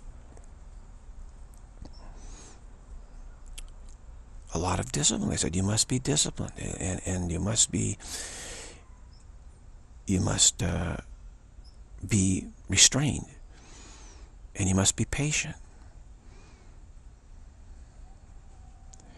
So all these, these, these this, this, this uh, knowledge we built up got, get, gets passed on from generation to generation to generation and becomes, eventually becomes re religions. And arrogance is ceaselessly trying to tear those religions down and so it you know it termites them, sabotages them, and you know tries to make it as ragged and confusing as possible. And right now it's trying to, in order to invest in optimism in the future, which we now see is complete scam, absolute scam. Uh, it has to undermine your belief that you can succeed on the on the spiritual spiritual the path of no path. It has to undermine all those disciplines which is do not give any value to the body, do not be attracted to bodies, you know, which means everybody dress modestly, okay? do not draw attraction to your body.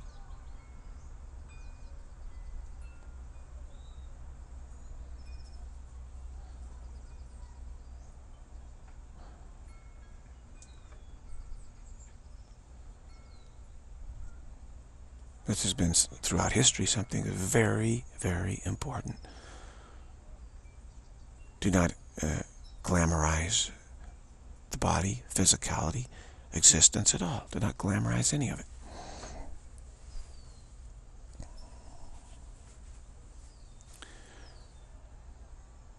And of course, you see these all these activists now saying, well, you know, we, we should be able to do anything we want. We should be able to glamorize the body as much as we want we should be able to to parade parade through the streets, you know, naked, and we should be able to we should be able to knock on your door and come in your house and have a have an orgy. You know, we should be able to do any of this. And if and if you say that we shouldn't do this, well, that means you're promoting rape. That's what they say. You're promoting rape if you don't allow to do this. So in other words, they say if you don't allow us to do this, you're promoting something terrible. what they're really trying to do is wipe out all these cultural, social disciplines which help us on this spiritual path of no path, which help us manage our success, which do not continue to reinvest in the future of this contest. Now, you see, the contest is that is to say that perfection isn't perfect, yet we're imperfect, and yet perfection is something to attain in the future, to win by winning the contest with God. Well, if we realize that we're spirit, we'll realize we're perfect. And so we say, what contest? There's no contest. we have always been perfect.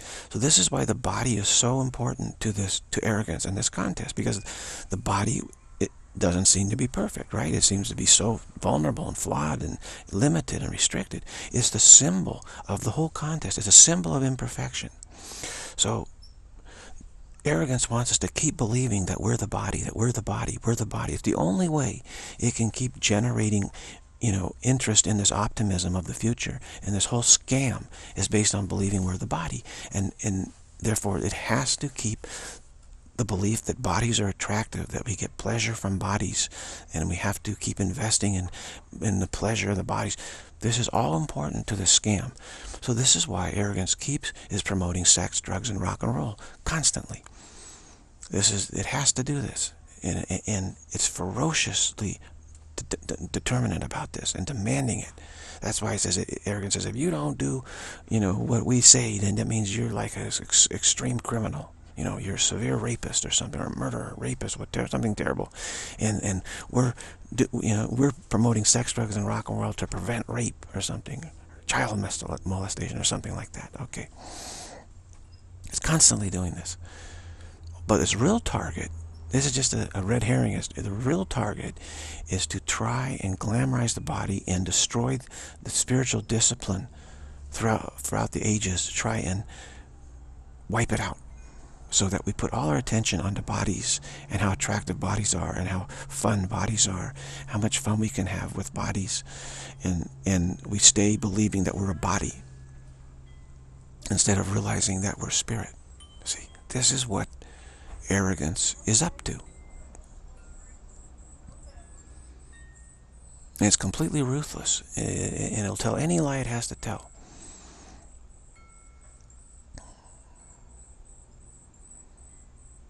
It's pretty crazy, right? Uh, because the more you glamorize the body and get people like lust driven and like severe lust addicts, that that's what causes that's the more rape there's going to be. And it's not even really rape it's because everything is a play here okay? And of course their main card is victimization. They have to first convince us that there's such a thing as victimization. Then otherwise how can they claim rape cry rape? And then once they once they get you believing there's such a thing as victimization then they start screaming rape rape rape rape. If you don't do what we tell you that means you're going to become you know like terrible rapists. And yet if you look at it even on that level, it's, it's utterly absurd. Because what we're trying to do is, is completely deglamorize the body and not be interested in it at all. I don't want to even touch the body. I don't have anything to do with the body. Okay. How, how could that lead to, to, to, to rape? It's ridiculous. It's the, the severe sex addicts, you know, that, that are interested in that dynamic, you know? It's those who cannot control the impulses, those who've glamorized the body so much. So, so they're the ones who are actually promoting rape. The ones, the ones who are parading around naked through the streets, they're the ones who are promoting rape.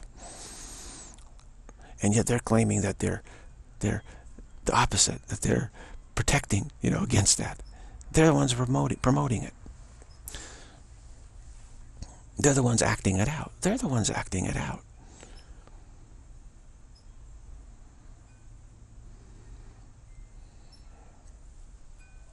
This this drama of victimization.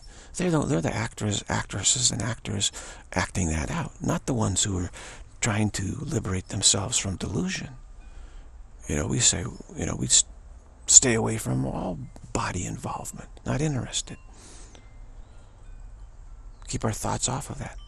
That's the discipline. Keep your thoughts off the body. Keep your thoughts off all the sins of the body, the lust and the avarice and the greed and the envy and you know all of that stuff crucify all that. This is what jesus all spirituality challenges us spirit of truth challenges us to crucify all that. They're actually angry that we're not willing to act out the rape scenario with them. You know that's what they're so angry with. I actually experienced that one time. This very bizarre person uh, was demanding and, and was going to attack me if I didn't act out some, you know, rape scenario with her. And she was furious that I wasn't, didn't, wouldn't do it. Absolutely furious. And, and, and was, was like a very powerful, strong, physical person. Was, was, was I felt that she was, was going to like try and like attack me and, and, and try to, you know, beat me up, beat me severely if I didn't act out the scenario she was demanding.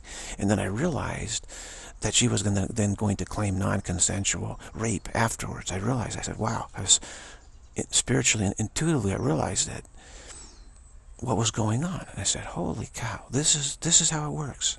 This is how it works. You get this, this actress who, who, you know, demands, demands sex, and then later on will claim that she was victimized and raped, and they're willing to, to do all sorts, be, you know, wound themselves, tear, you know, whatever it is to to make this whole play seem realistic. Their their their charge realistic, what they're saying. And if you don't do it, you feel threatened, very threatened. This person was very threatening. Felt very frightened by this person. And the way I was, was hooked into this whole scenario was to glamorizing the body, glamorizing the body. This led then me to be guided into the situation, which was guiding me into what? Blackmail, blackmail, blackmail. And then the, the person would have said, oh, well, I won't, I won't accuse you of rape if you do this and this and this and this and this. Give me all your money, give me your house, give me this, give me this, give me... This is how it works. This is how it works. So I know how it works. And this person absolutely was demanding this. So they're the ones who uh, are promoting rape, actually, the, the rape scenario. Okay, these these radical feminists, these activists, they're the ones promoting rape, actually, and belief, belief in victimization. I mean, imagine if you could not be victimized, what kind of friend is it that tries to convince you that you can be victimized? Is that is that a friend, or is that some, is that is that a foe? Is that arrogance? It's severe arrogance. You don't want that. That's no friend. Someone who's trying to convince you of victimization, how is that a friend? That's wickedness, very bad wickedness.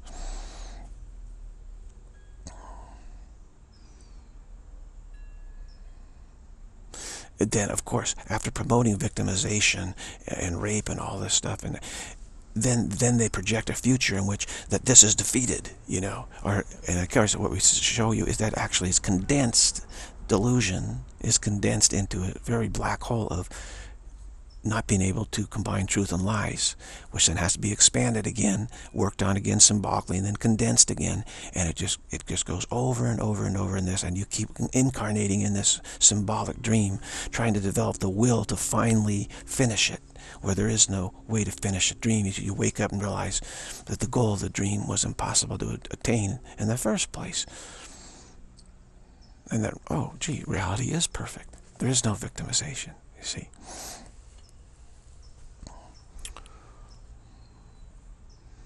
So yeah, it's getting very, very nasty out there, which we, which means we have to keep, you know, clarifying more and more and more very quickly.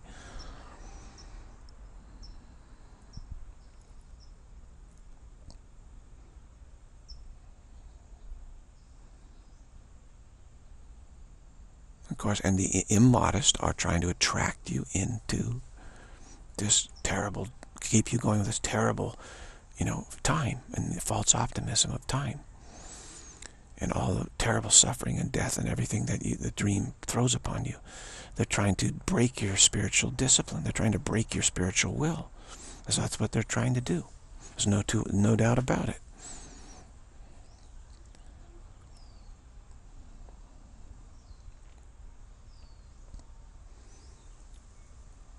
So these these people, these activists are doing nobody any favors, including themselves, including themselves. They're really doing themselves an extreme disservice. And so compassion says, hey, we're not going to agree with this because we don't want to do help you do a extreme disservice to yourself. No way.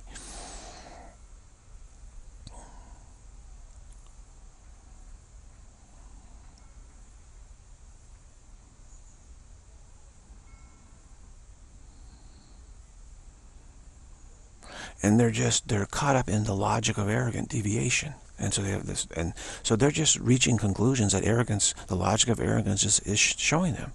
So you have to have compassion. Jesus says, "Forgive them. They know they know not what they do. They know not what they do. They're following the logic of arrogance." But there are those who have seen through this, and so the, the, these this is super valuable. You cannot throw this out. You cannot throw you throw it out, then you're truly a fool. Of course, the logic of arrogance says throw it out. That's losing. We got to win. No, it's not losing. It's saying that there is no contest. Big difference. But then arrogance says, well, how can we win? Well, we don't need to win. We're, we already have everything. All has all. Everything's already perfect. You know, there is no perfection is not something in time to be won. It's yet to be, you know, determined who wins it. It's not contingent on anything happening. In fact, we were creation is perfect from the very beginning. There's is not contingent upon anything happening. And it's not contingent on imperfection doing something at all.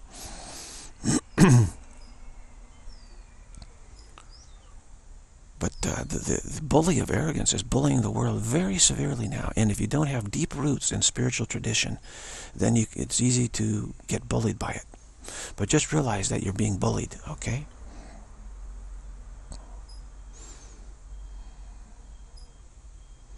And it's very deceitful because the, the, actresses and actors are willing willing to do anything to promote optimism in the future and this whole idea of winning.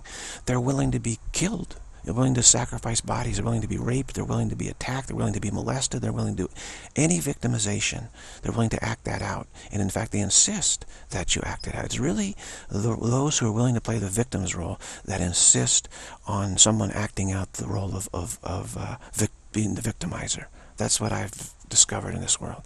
It's the one who's willing to play the role of victim who insists, who absolutely demands that the victimizer do, do what they tell them to do so that they can play out so the victimization will seem to be effective, which will then point to the future where we need to take care of this you know, darkness and project optimism in the future. All of this is what arrogance actually does. This is the play of arrogance. Jesus calls it the play of the ego, play of arrogance, same, same, same thing. I just prefer the term arrogance.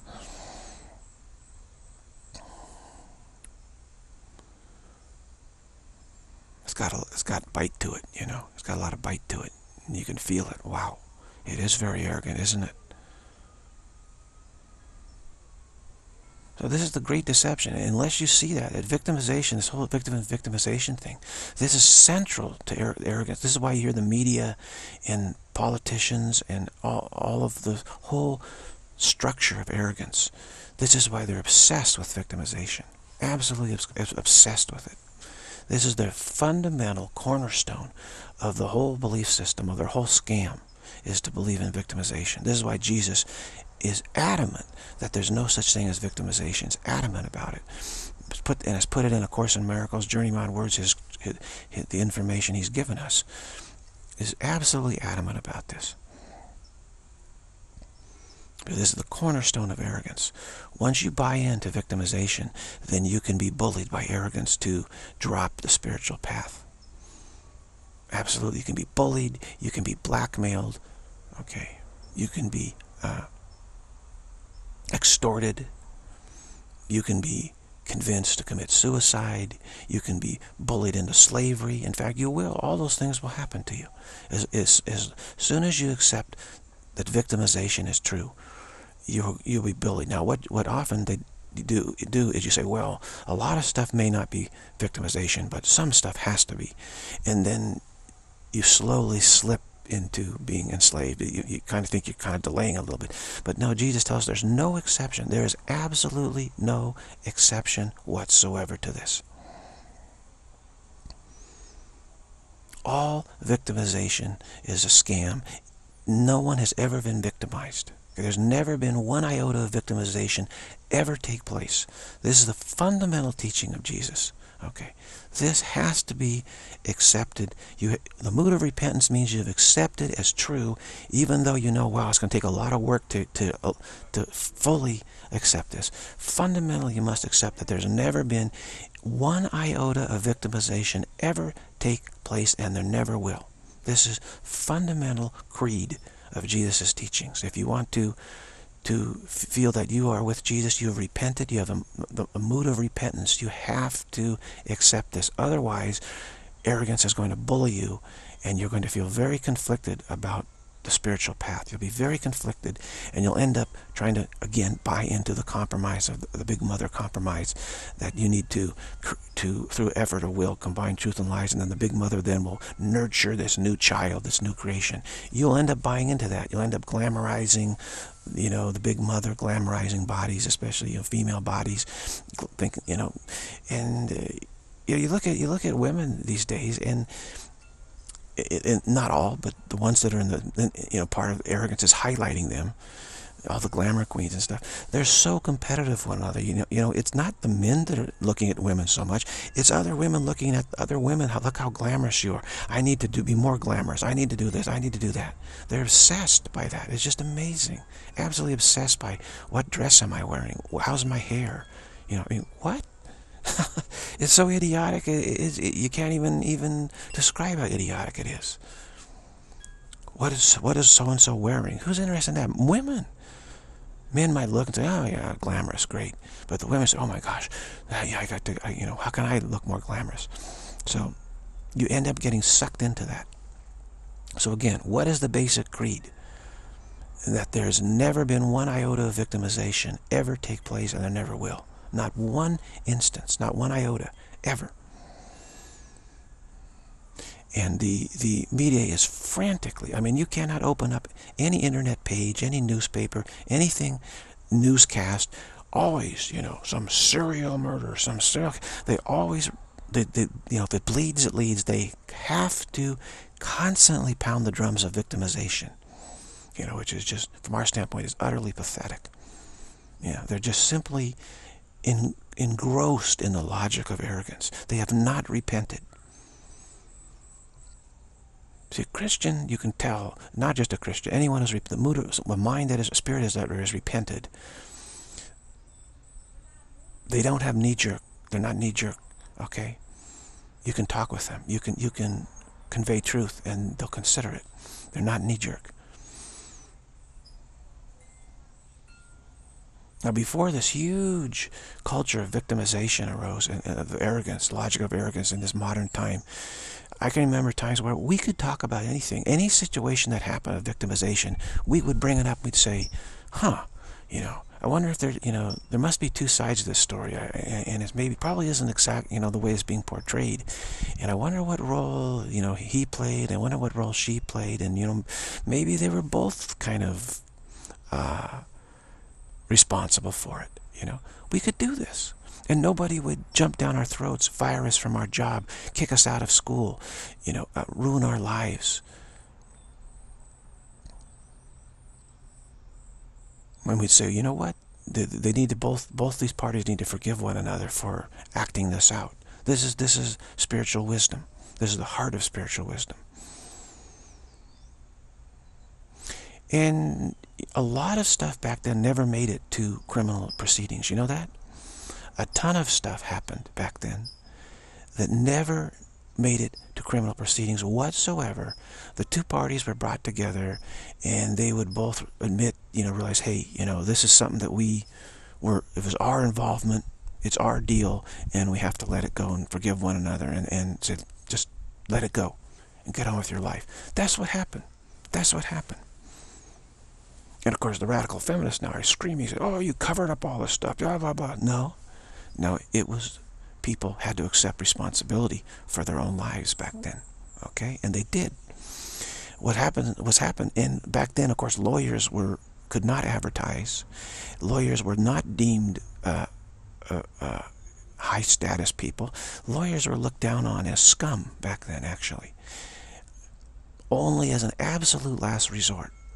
First, you talk to your pastor, your priest, your rabbi, your counselor, your wise elder, you know, your, your, you know, your parents, all this stuff. There's all these other different avenues that were, you had to do all those first. And lawyers were absolute last result. Well, of course, the lawyers didn't like that. They're very, they enjoy uh, being rich. Nowadays, of course, one of the worst things that ever happened was that lawyers can advertise. But all these restrictions off of lawyers were lifted. And now we have this extraordinarily litigious society where lawyers are, or you have a thousand ambulance chasing lawyers searching for anyone. Hey, have you ever been victimized? They, they put advertisements. Have you ever been victimized in any way? Call us immediately. You know, we'll sue, we'll sue the pants off, whatever, you know, and, and you'll be rich like us. Well, of course, the huge settlements go mostly to the lawyers, okay? okay? They're the ones getting rich off this whole scam. Behind, you know, keep in mind that almost every politician is a lawyer. Okay, keep that in mind. Okay, and I know there are some very good lawyers. Okay, so I'm speaking, of course, I have to speak in terms of generalizations. There's all sorts of you know business law and, and other types of law that have to do with complex arrangements that they help sort it out. Okay, all right, that's fine.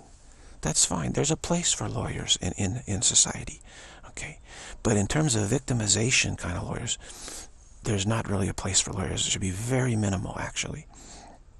What they've done is they're trying to, to they're trying to wipe out all these other avenues that when situations occur where there's aggrieved parties where they can you know forgive one another they're trying to wipe all that out and again almost all politicians are lawyers do you really think that they're going to pass all these laws they're restricting, you know, what lawyers can do, and go back to uh, a religion-based society, a, a forgiveness-based society, let's put it that way, a forgiveness-based society? Heck no. The last thing any lawyers, any of those types of lawyers that I talk about want is a forgiveness-based society. This is their worst nightmare. Because you know what? They're going to lose their fancy homes and their and their country clubs and their vaca you know everything that they have. Lawyers are getting filthy rich right now. Filthy rich. There are places, for instance, in the Bay Area, half of the population, the very nicest places with mass, everyone's got mansions. Filthy rich people. Half of the population are lawyers. Half of them. And there's constant advertisements by lawyers now. Have you been you know, aggrieved? Have you been victimized? We can, you know, we can win the case for you. And they're, they're, they're chasing people now in corporations. They go, you know, they, they're, they're chasing them and, and they say, hey, have you, have you, have you feel like you've been discriminated against in any way? Okay, great. We let we'll sue the corporation. This is what they're, they're, they're the society is now just absolutely being termited by lawyers and litigation termited by litigation. Everyone's terrified of litigation. I had a AAA guy say, I can't lift your your flat tire into your into the, your trunk. I can't do that because um, um, we're not allowed to. We might get sued. And they say, and I, I talk to them. I say, well, what, what, what, what's going on? They say, the whole job is about avoiding what we can't do. He says, we have to be constantly trained in what we can't do. He says we're more trained in what we can't do than what we can do. And this is the whole society is this way. We're trained in what we can't do rather than what we can do. And this is all based on the cornerstone of victimization, which is all based on arrogance. It is not based on truth at all.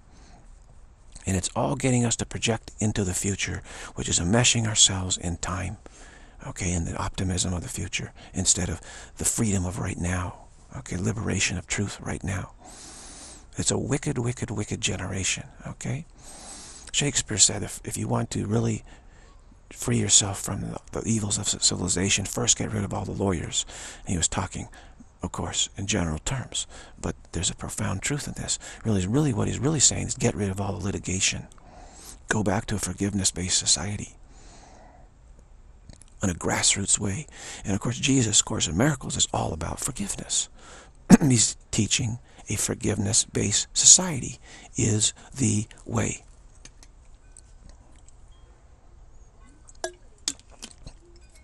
Fundamentally tells us nothing ever happens to you that's against your will. Everything that happens to you, you have actively desired to have happen to you. Victimization is impossible. Therefore, forgive yourself for, if you don't like something, forgive yourself for desiring this, okay? Don't blame the other at all. That includes accidents. It includes everything. Jesus says there's no exception to this. It includes whatever age, whether you're a baby or an old person, whatever, whether it's an accident, whatever. There's, says nothing happens by chance. Everything is choreographed at the level of mind, spirit. And everything that happens is what you are desiring to happen, what you're desiring to experience. So nothing happens to you. You are, you are the happening. You are the experiencing. This is his fundamental teaching. So if, if you don't accept that, then you're rejecting Jesus. You're rejecting truth, plain and simple. And all rejection of truth is arrogance, sheer arrogance. Saying that you can change what God created, perfect. You can change it. You cannot change it. How are we doing? Oh, we're actually getting up there. Let me see. What does it say? Okay, great. So if you want to spread the gospel of salvation, the gospel of truth, the gospel of Jesus, the gospel of spirit of truth, then you have to say these things. If you're not saying these things, you're not spreading the gospel.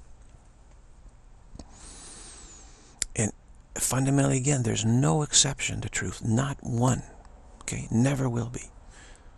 This is fundamental. And arrogance says, well, that's fundamentalism. That's extremism. You know, no, it's arrogant.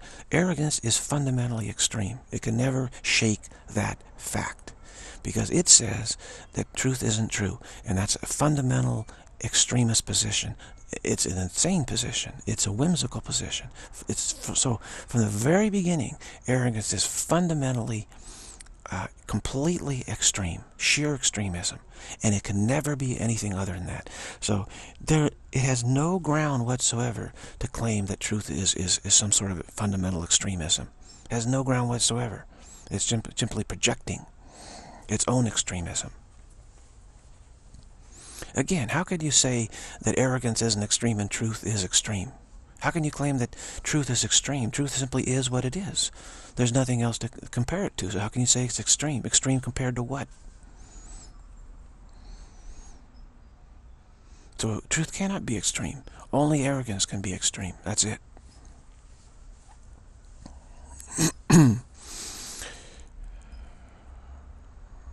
so Jesus told us if we want to follow him, we must proclaim his gospel. and he know he knows that by proclaiming his gospel, this is how we get used to it and get and this is what helps us. So he says if we help help him by proclaiming, we're also helping ourselves too, plus the ones that we proclaim it to. But in this day and age where arrogance is running amok, where there are lawyers under every around every corner, under every desk, snooping. Why do you think we have the surveillance society? Litigation lawyers, litigation, victimization. Why do you think police are now having to wear cameras? So they can have millions of more lawsuits. That's why. Body cameras are being mandatory now, I believe, for all police. I mean, you talk about, this is where victimiz the idea of victimization, of course, the police and criminals, you know, this whole thing is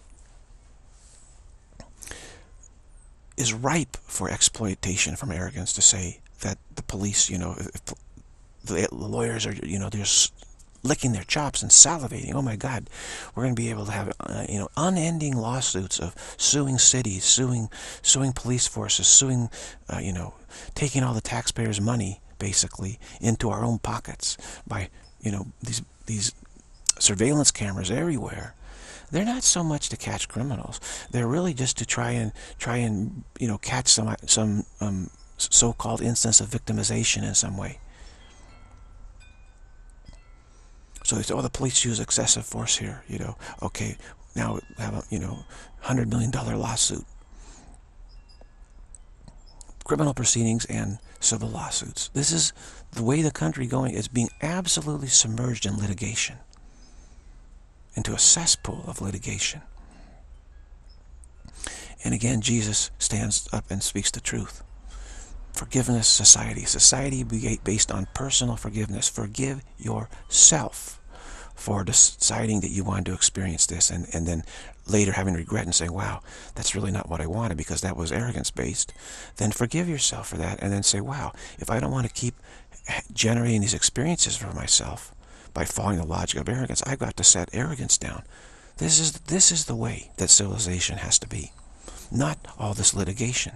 That's a, a, a civilization built on arrogance, rejecting forgiveness, the truth of forgiveness, that there's no such thing as victimization. Now, of course, it can get complex, and we understand that because we are very creative and clever, and we can seem to, you know, make it confusing for us. But we have to then have faith. This is why having faith is important, is when we get real creative and tricky, we, we have to say, hey, it looks like I'm getting real trick, real creative and tricky here with this one, but I'm not going to renounce truth just because I've gotten real clever and tricky. I need to forgive myself for being real clever and tricky, is what I need to do. And, you know, that's how it goes. That's how it goes. So I really appreciate Jesus giving me the opportunity to, you know, bear witness to, to his gospel, his good news, the good news of truth, by producing A Course in Miracles and Journey Beyond Words, so at least have some basic format to speak from. I really appreciate it because it's given me the opportunity to do this.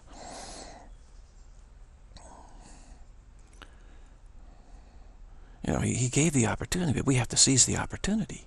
We have to seize the opportunity. We just can't sit back and wait and see see who you know who who, who ultimately wins. We have to get with it, and and fundamentally have a mind of repentance, which is what there there's there's not one iota of victimization has ever taken place. There's never been any victimization ever take place in any way. No one has ever been victimized in any way.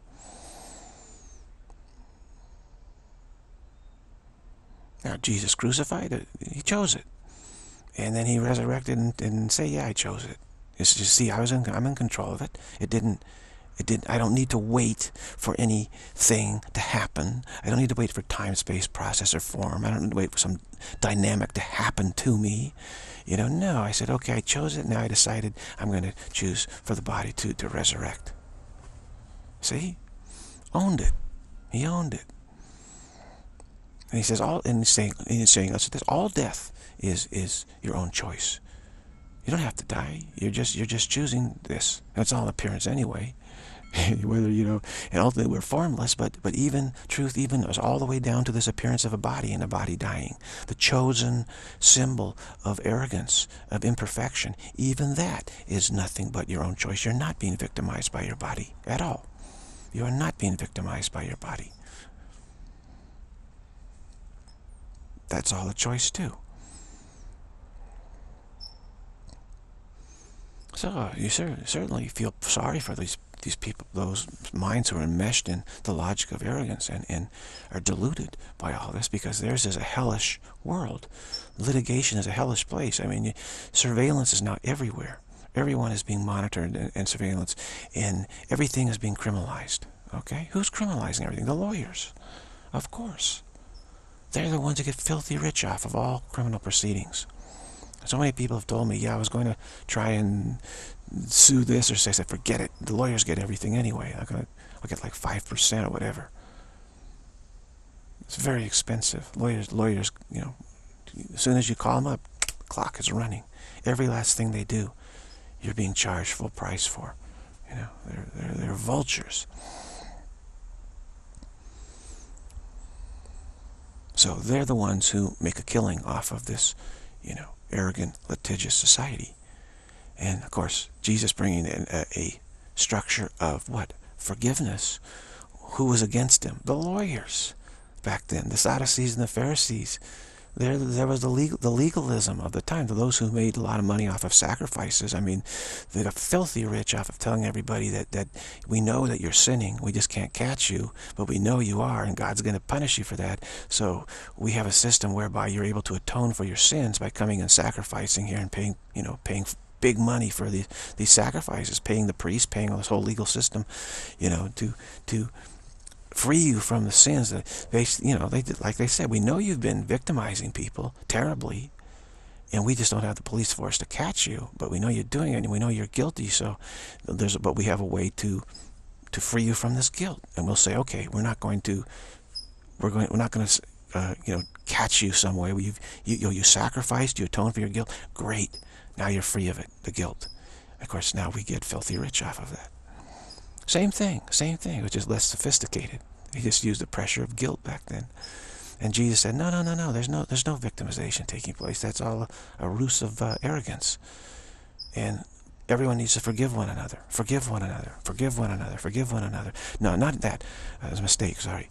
Everyone needs to forgive themselves. Forgive, forgive themselves, forgive themselves. Unfortunately, that's been twisted into forgive one another. But it really meant, he meant forgive yourself for playing along with this scam of victimization, no matter which role you play. You know, whatever role you play, either the victimizer or the victim, forgive yourself if you if that's not what you want. Forgive yourself. But in no way can you ever blame another for what you're experiencing is. In no way.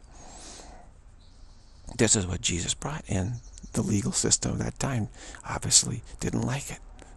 you can't do this. You're going to interfere with all our profits. Same old, same old, same old situation now, except now it's probably a lot worse. A lot worse. Again, it's more what you can't do than what you can do in corporations now.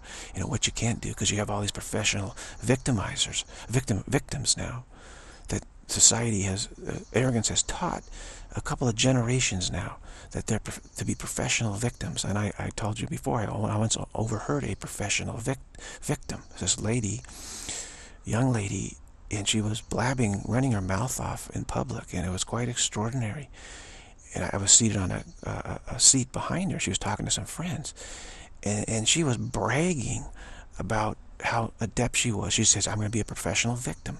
That's exactly what she said. I'm going to be a professional victim. And this is how I'm going to do it. And then she proceeded to explain how she was going to target these various powerful, rich people in society and claim that blackmail them, claim they did something. And she says, uh, she says, I'm, uh, you know, this is going to work. I might get away with it. I'm sure I can. You just wait and see. And now, 15, 20 years later, you see it's exactly what's happening. There's a whole class of people who have trained themselves to be professional victims. This is their skill set.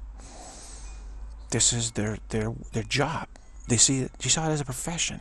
She talked about it as her profession, her career. It was so shocking.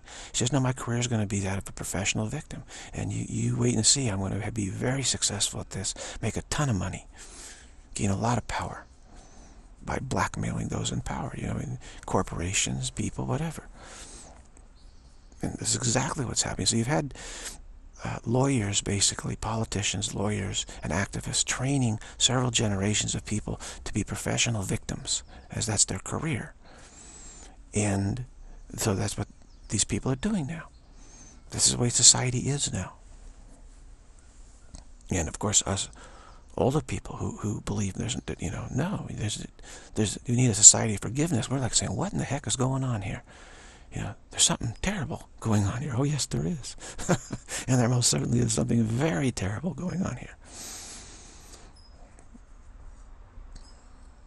Now, as far as revival is going, can we bring a culture of forgiveness in a, in a, situation where, where several, two or three generations now have been absolutely brainwashed and trained? Trained. And of course, it's their own fault. They, they demanded the training trained to be professional victims, have a career being professional victims. And they, they're in all, they're everywhere now, in police forces, in, in, in corporations, as judges in the legal system, in, in social work, in education, everywhere. They're everywhere. They permeate society now. And they are on the prowl for, you know, victimhood and looking out, look, trying to find ways that they can claim victimization and sue and sue and sue and sue. It used to be that suing was a very shameful thing. Same as divorce, very shameful. But suing was very shameful. You cannot show your face in church if you're suing someone, you know. And probably you're suing someone else in the congregation. I mean, see, if everyone's going to church, and member of a congregation, uh, uh, uh, then how can you show your face in church if you're suing someone else? You're supposed to go to the priest and say, hey, or the rabbi or pastor or whatever, and say, hey, you know, we we are having this conflict here. Okay, and then the priest will say, okay, you know, let's bring God and let's bring up the Holy Spirit into this situation. And then it gets resolved and say, okay, now you, okay, let's, and it gets resolved. Otherwise, how can you show up in church? Okay? Can't show your face there if you're suing some other member of the congregation. So the idea is make everyone secular so there's no shame in suing anybody. So I don't know that person. God, Holy Spirit, what are you talking about? I'm secular. I'm atheistic. I got no scruples about suing anybody. I'll sue anybody. This is what's happened. So, of course, again, arrogance, lawyers, politicians are undermining the church, undermining religious society. I mean, again, if you get divorced, how can you show your face in church? If you're an adulterer, fornicator, how can you show your face in church? You've got to repent. You've got to go to confession. You've got to say, wow, I messed up. I, I, I started believing in victimization again. They say, okay, you're forgiven. You're forgiven. Just keep in mind that God forgives you. You forgive yourself. Basically, God's message is forgive yourself as God forgives you. Okay? You're still perfect. You're still perfect. You cannot harm your perfection. You've just, you've just been caught up in this arrogance thing. So, again, how can some big revival take place? I, I, I, again, because society is permeated. You'd have to have an absolute complete change of mind and training of several generations, maybe three or four generations, who are com completely trained in a society of forgiveness in order to get free of this toxicity right now. Is This world is extraordinarily toxic with arrogance. Extraordinarily toxic. How are we doing? Okay, still have some time. Generationally toxic.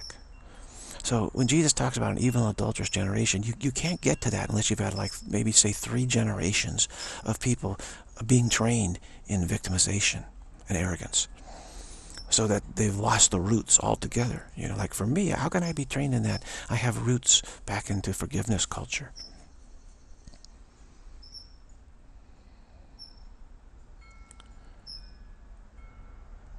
It was to, to, to resort to, to suing someone was shameful.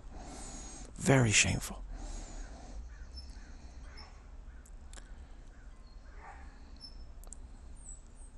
And just a matter of principle, you know, you just don't do it. I, I mean, I'm raised you, you don't sue anybody for any reason.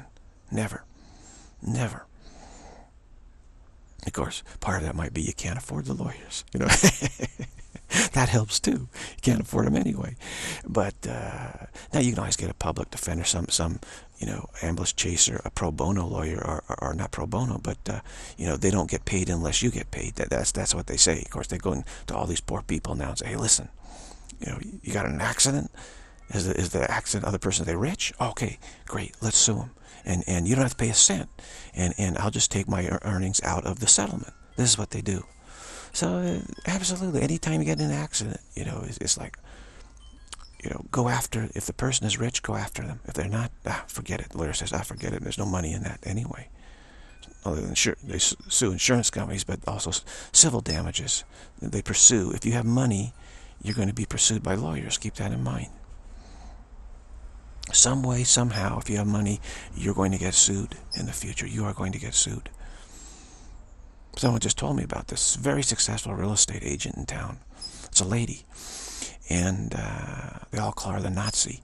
And what she does is she, she gets the, these people with very expensive homes into contracts with her and then basically then she st she starts suing them, suing them, suing them for breach of contract, and forces them in, in, into the, into selling the home on her terms and also gaining money through law. So she just she's hooked up with these lawyers and she gets you under contract, gets your signature, and then then she's rigged the contract in certain ways that then she can sue, and she sues, sues, sues, and she's super rich, super rich. Parasite. So people are getting into um, get into bed with lawyers and they figure out these scams of how do we sue people, sue people, sue people, sue people. Okay. Now, it is also true that if you get sued, you're also responsible for that too. See, so you can't, it's not like you're being victimized. so ultimately, the, the lawyers and don't really have any power over you at all. But we're certainly intimidated as if they do, right?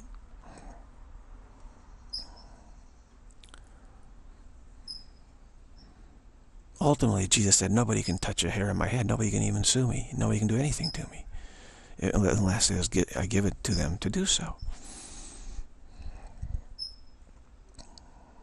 Now he spoke of, of God as, as something separate from him, almost my father. I'm only do the, what my father sent me to do, so. But he is one with God. We're all one with God. We're all free. So, you know, he sort of made it seem dualistic in, in, in certain ways because people couldn't understand what he's talking about. But whatever happened to him, you know, he chose to happen, and he being one with God, you can say God chose it to happen too. You just, uh, you know, depends on how you want to say it, but there's no duality. You know, he chose it. We're free. We're free.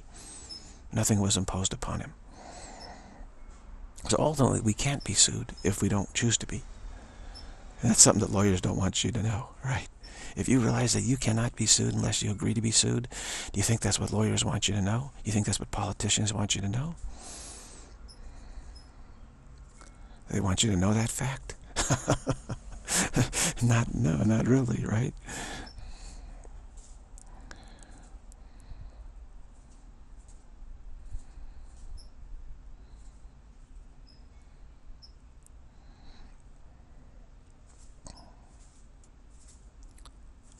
Everybody's after greed, you know, after greed, greed, greed.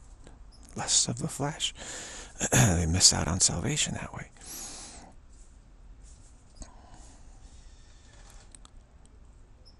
Can anything happen to me that wasn't my own choice? The answer is no. It's impossible. Even including the body. Okay, even though the body is the chosen symbol of arrogance, of imperfection, that's still true. It doesn't doesn't change truth at all. Does that include aging? Yes, it does. It includes infirmity? Yes, it does. It includes everything. Injuries, everything. No exception. And and of course, we find this you know, difficult to, wow, I've got this problem here, here. That means I'm choosing to have that? Yes, it, does mean that. And if you haven't repented, you, you'll get very angry. When I, when I say this kind of stuff to people who have not repented, have, don't have repentant mind, they get very belligerent, very angry and belligerent. Ah, you're crazy. What are you talking about? I didn't choose this. No, no exception. If you want to follow Jesus, if you want salvation, you must except there's no exception to truth whatsoever. There's no exception to choosing every we're choosing everything. There's no exception that there's the fact that there's no victimization. There is no exception to it. N none, none, and none. No wiggle room on this. There is no wiggle room. And of course, lawyers come in and start saying, "Hey, the legalistic mind says we have we have a legalistic mind, the left brain, very legalistic. Arrogance is very legalistic, and says, now wait a minute, you know, it's like I think I can see some little wiggle room here, you know." And uh, you don't, and so th this this mind, this this this legalistic mind, the mind of the flesh, mind of arrogance, really, is very skillful at starting to develop a little wiggle room you know, in, in, truth, trying to think like, well, like, I think I see where you can get some wiggle room here and then over here and over here. And this is what we engage in. We engage in trying to generate wiggle room as if, no, that, that, Jesus really didn't mean that, or truth doesn't mean that. No, of course there's a contest going on here between between uh, God and, and arrogance. There's, there's, truth isn't true. There's, there's, there's some exceptions to it. You see, it's not perfect. I say, oh, there's wiggle room here. So of course we use the body and all the stuff happening in the world that seems to to encourage believing that there's some wiggle room here. It encourages believing that there's some victimization. It encourages believing, therefore, that truth isn't true, that truth is not perfect. It encourages the belief.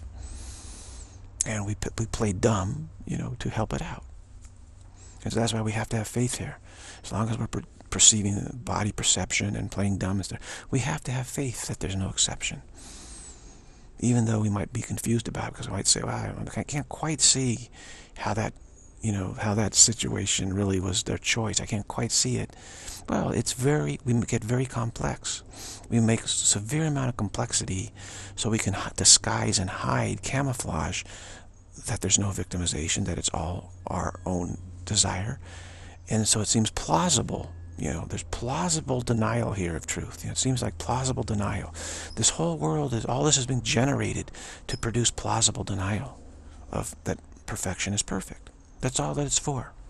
That's all that it's really for is to produce this, you know, plausible denial. We think, wow, I can't quite figure out. Maybe, maybe truth isn't entirely true. You know, this is coming here in this world. This is what the attitude we we pick up here. We pick up this attitude. That's what the world is for plausible denial. It's not true. None of it's true. But we can say it's plausible. But what does that mean, plausible? Again, that's arrogance. What do I mean, plausible? Either it's true or it's not. What what, what category is it? Arrogance has developed a, a third category between truth and lies of plausibility. And the new creation is this going to be this creation of plausibility. Like this is plausibly a new creation. You know, it's not true that it's a new creation. It's not a lie that it's a new creation. It's plausibly a new creation. It's a plausible new creation. this this is what it what it is. This is what it's about. Oh, we're getting there, aren't we? Yep. Doing our amazing two and a half hour show here. No com commercial free, folks. Commercial free. So most like most radio, most programs like three hours, you know, but they, you know, half of it is commercials. So here it's it's it's no commercials and it's free, you know, commercial free, free commercial free. It's all free, free, free, free, free, free. Millennials should like that. Free, free, free. This is completely free. What are you doing? You're missing out on something that's absolutely free, commercial free, free, free, free, free, free. How can you miss out on anything like that, millennials? Who, of course, millennials love everything free. They should love their freedom free also. Think about that. Freedom, free, free, free, freedom, free, freedom here.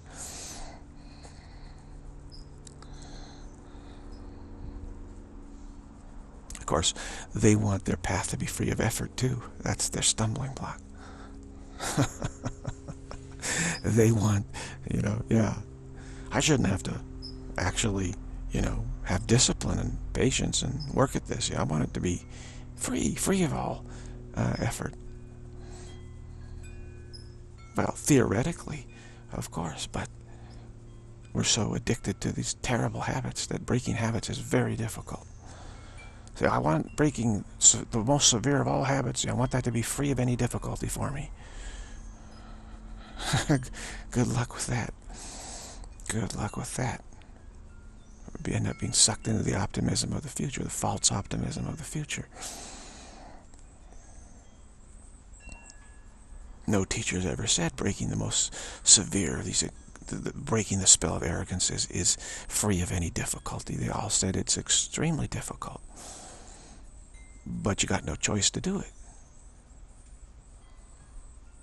So know, the millennials are setting up all this technology here to, to make ease, want life to be easy. We don't, we, don't want, we don't want any difficulty. Well, guess what? Breaking the spell of arrogance will always be extremely difficult for you. It doesn't matter how many computers you have. It doesn't matter how many smartphones you have. It makes no difference. It makes no difference. So you better switch to plan B, you know. That plan doesn't work.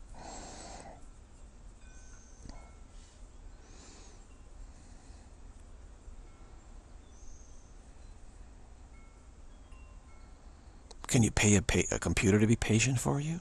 Can, can you pay a computer to eat for you? Can you pay a computer to, to sleep for you? Can, can you get a computer to sleep for you? Oh, I don't, I don't have any difficulty sleeping anymore. My computer's sleeping for me. Really? My smartphone has an app, a sleeping app. Yeah, when, when I can't sleep, I just put the sleeping app on and it sleeps for me.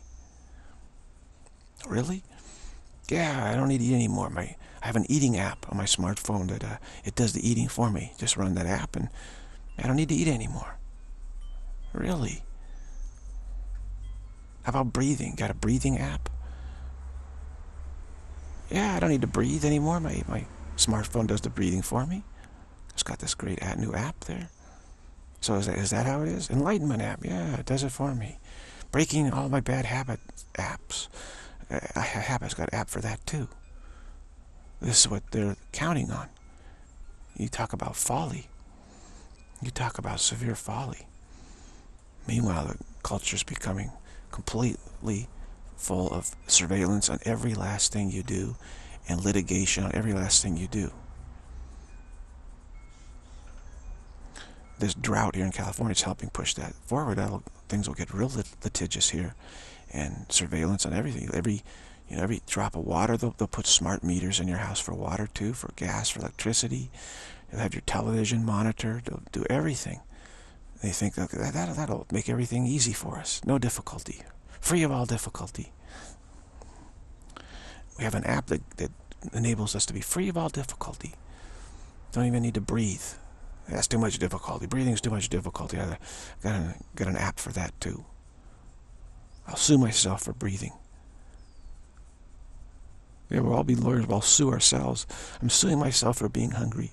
I'm suing myself for not sleeping and having to breathe. It's too much difficulty for me. I'm gonna. I'm gonna. I'm gonna sue myself. A severe lawsuit. Force myself to stop having this difficulty, and ultimately we'll sue ourselves for not being able to combine truth and lies. We'll sue ourselves so severely that we'll finally have to do it because we'll be destitute if we don't do it. We'll, we'll sue ourselves and, and instigate, instigate, instigate extreme criminal penalties for daring to fail to combine truth and lies. And therefore we'll be able to force ourselves to succeed, and then we will finally be happy. this is literally the talk that's going on. This is a comedy, a farce. Existence is a, is, is a funny, funny slapstick comedic, comedic farce. An absurdity, an absurdity. And, and we need to see it that way. We need to see it as it is. Stop trying to glamorize it. See it as it is.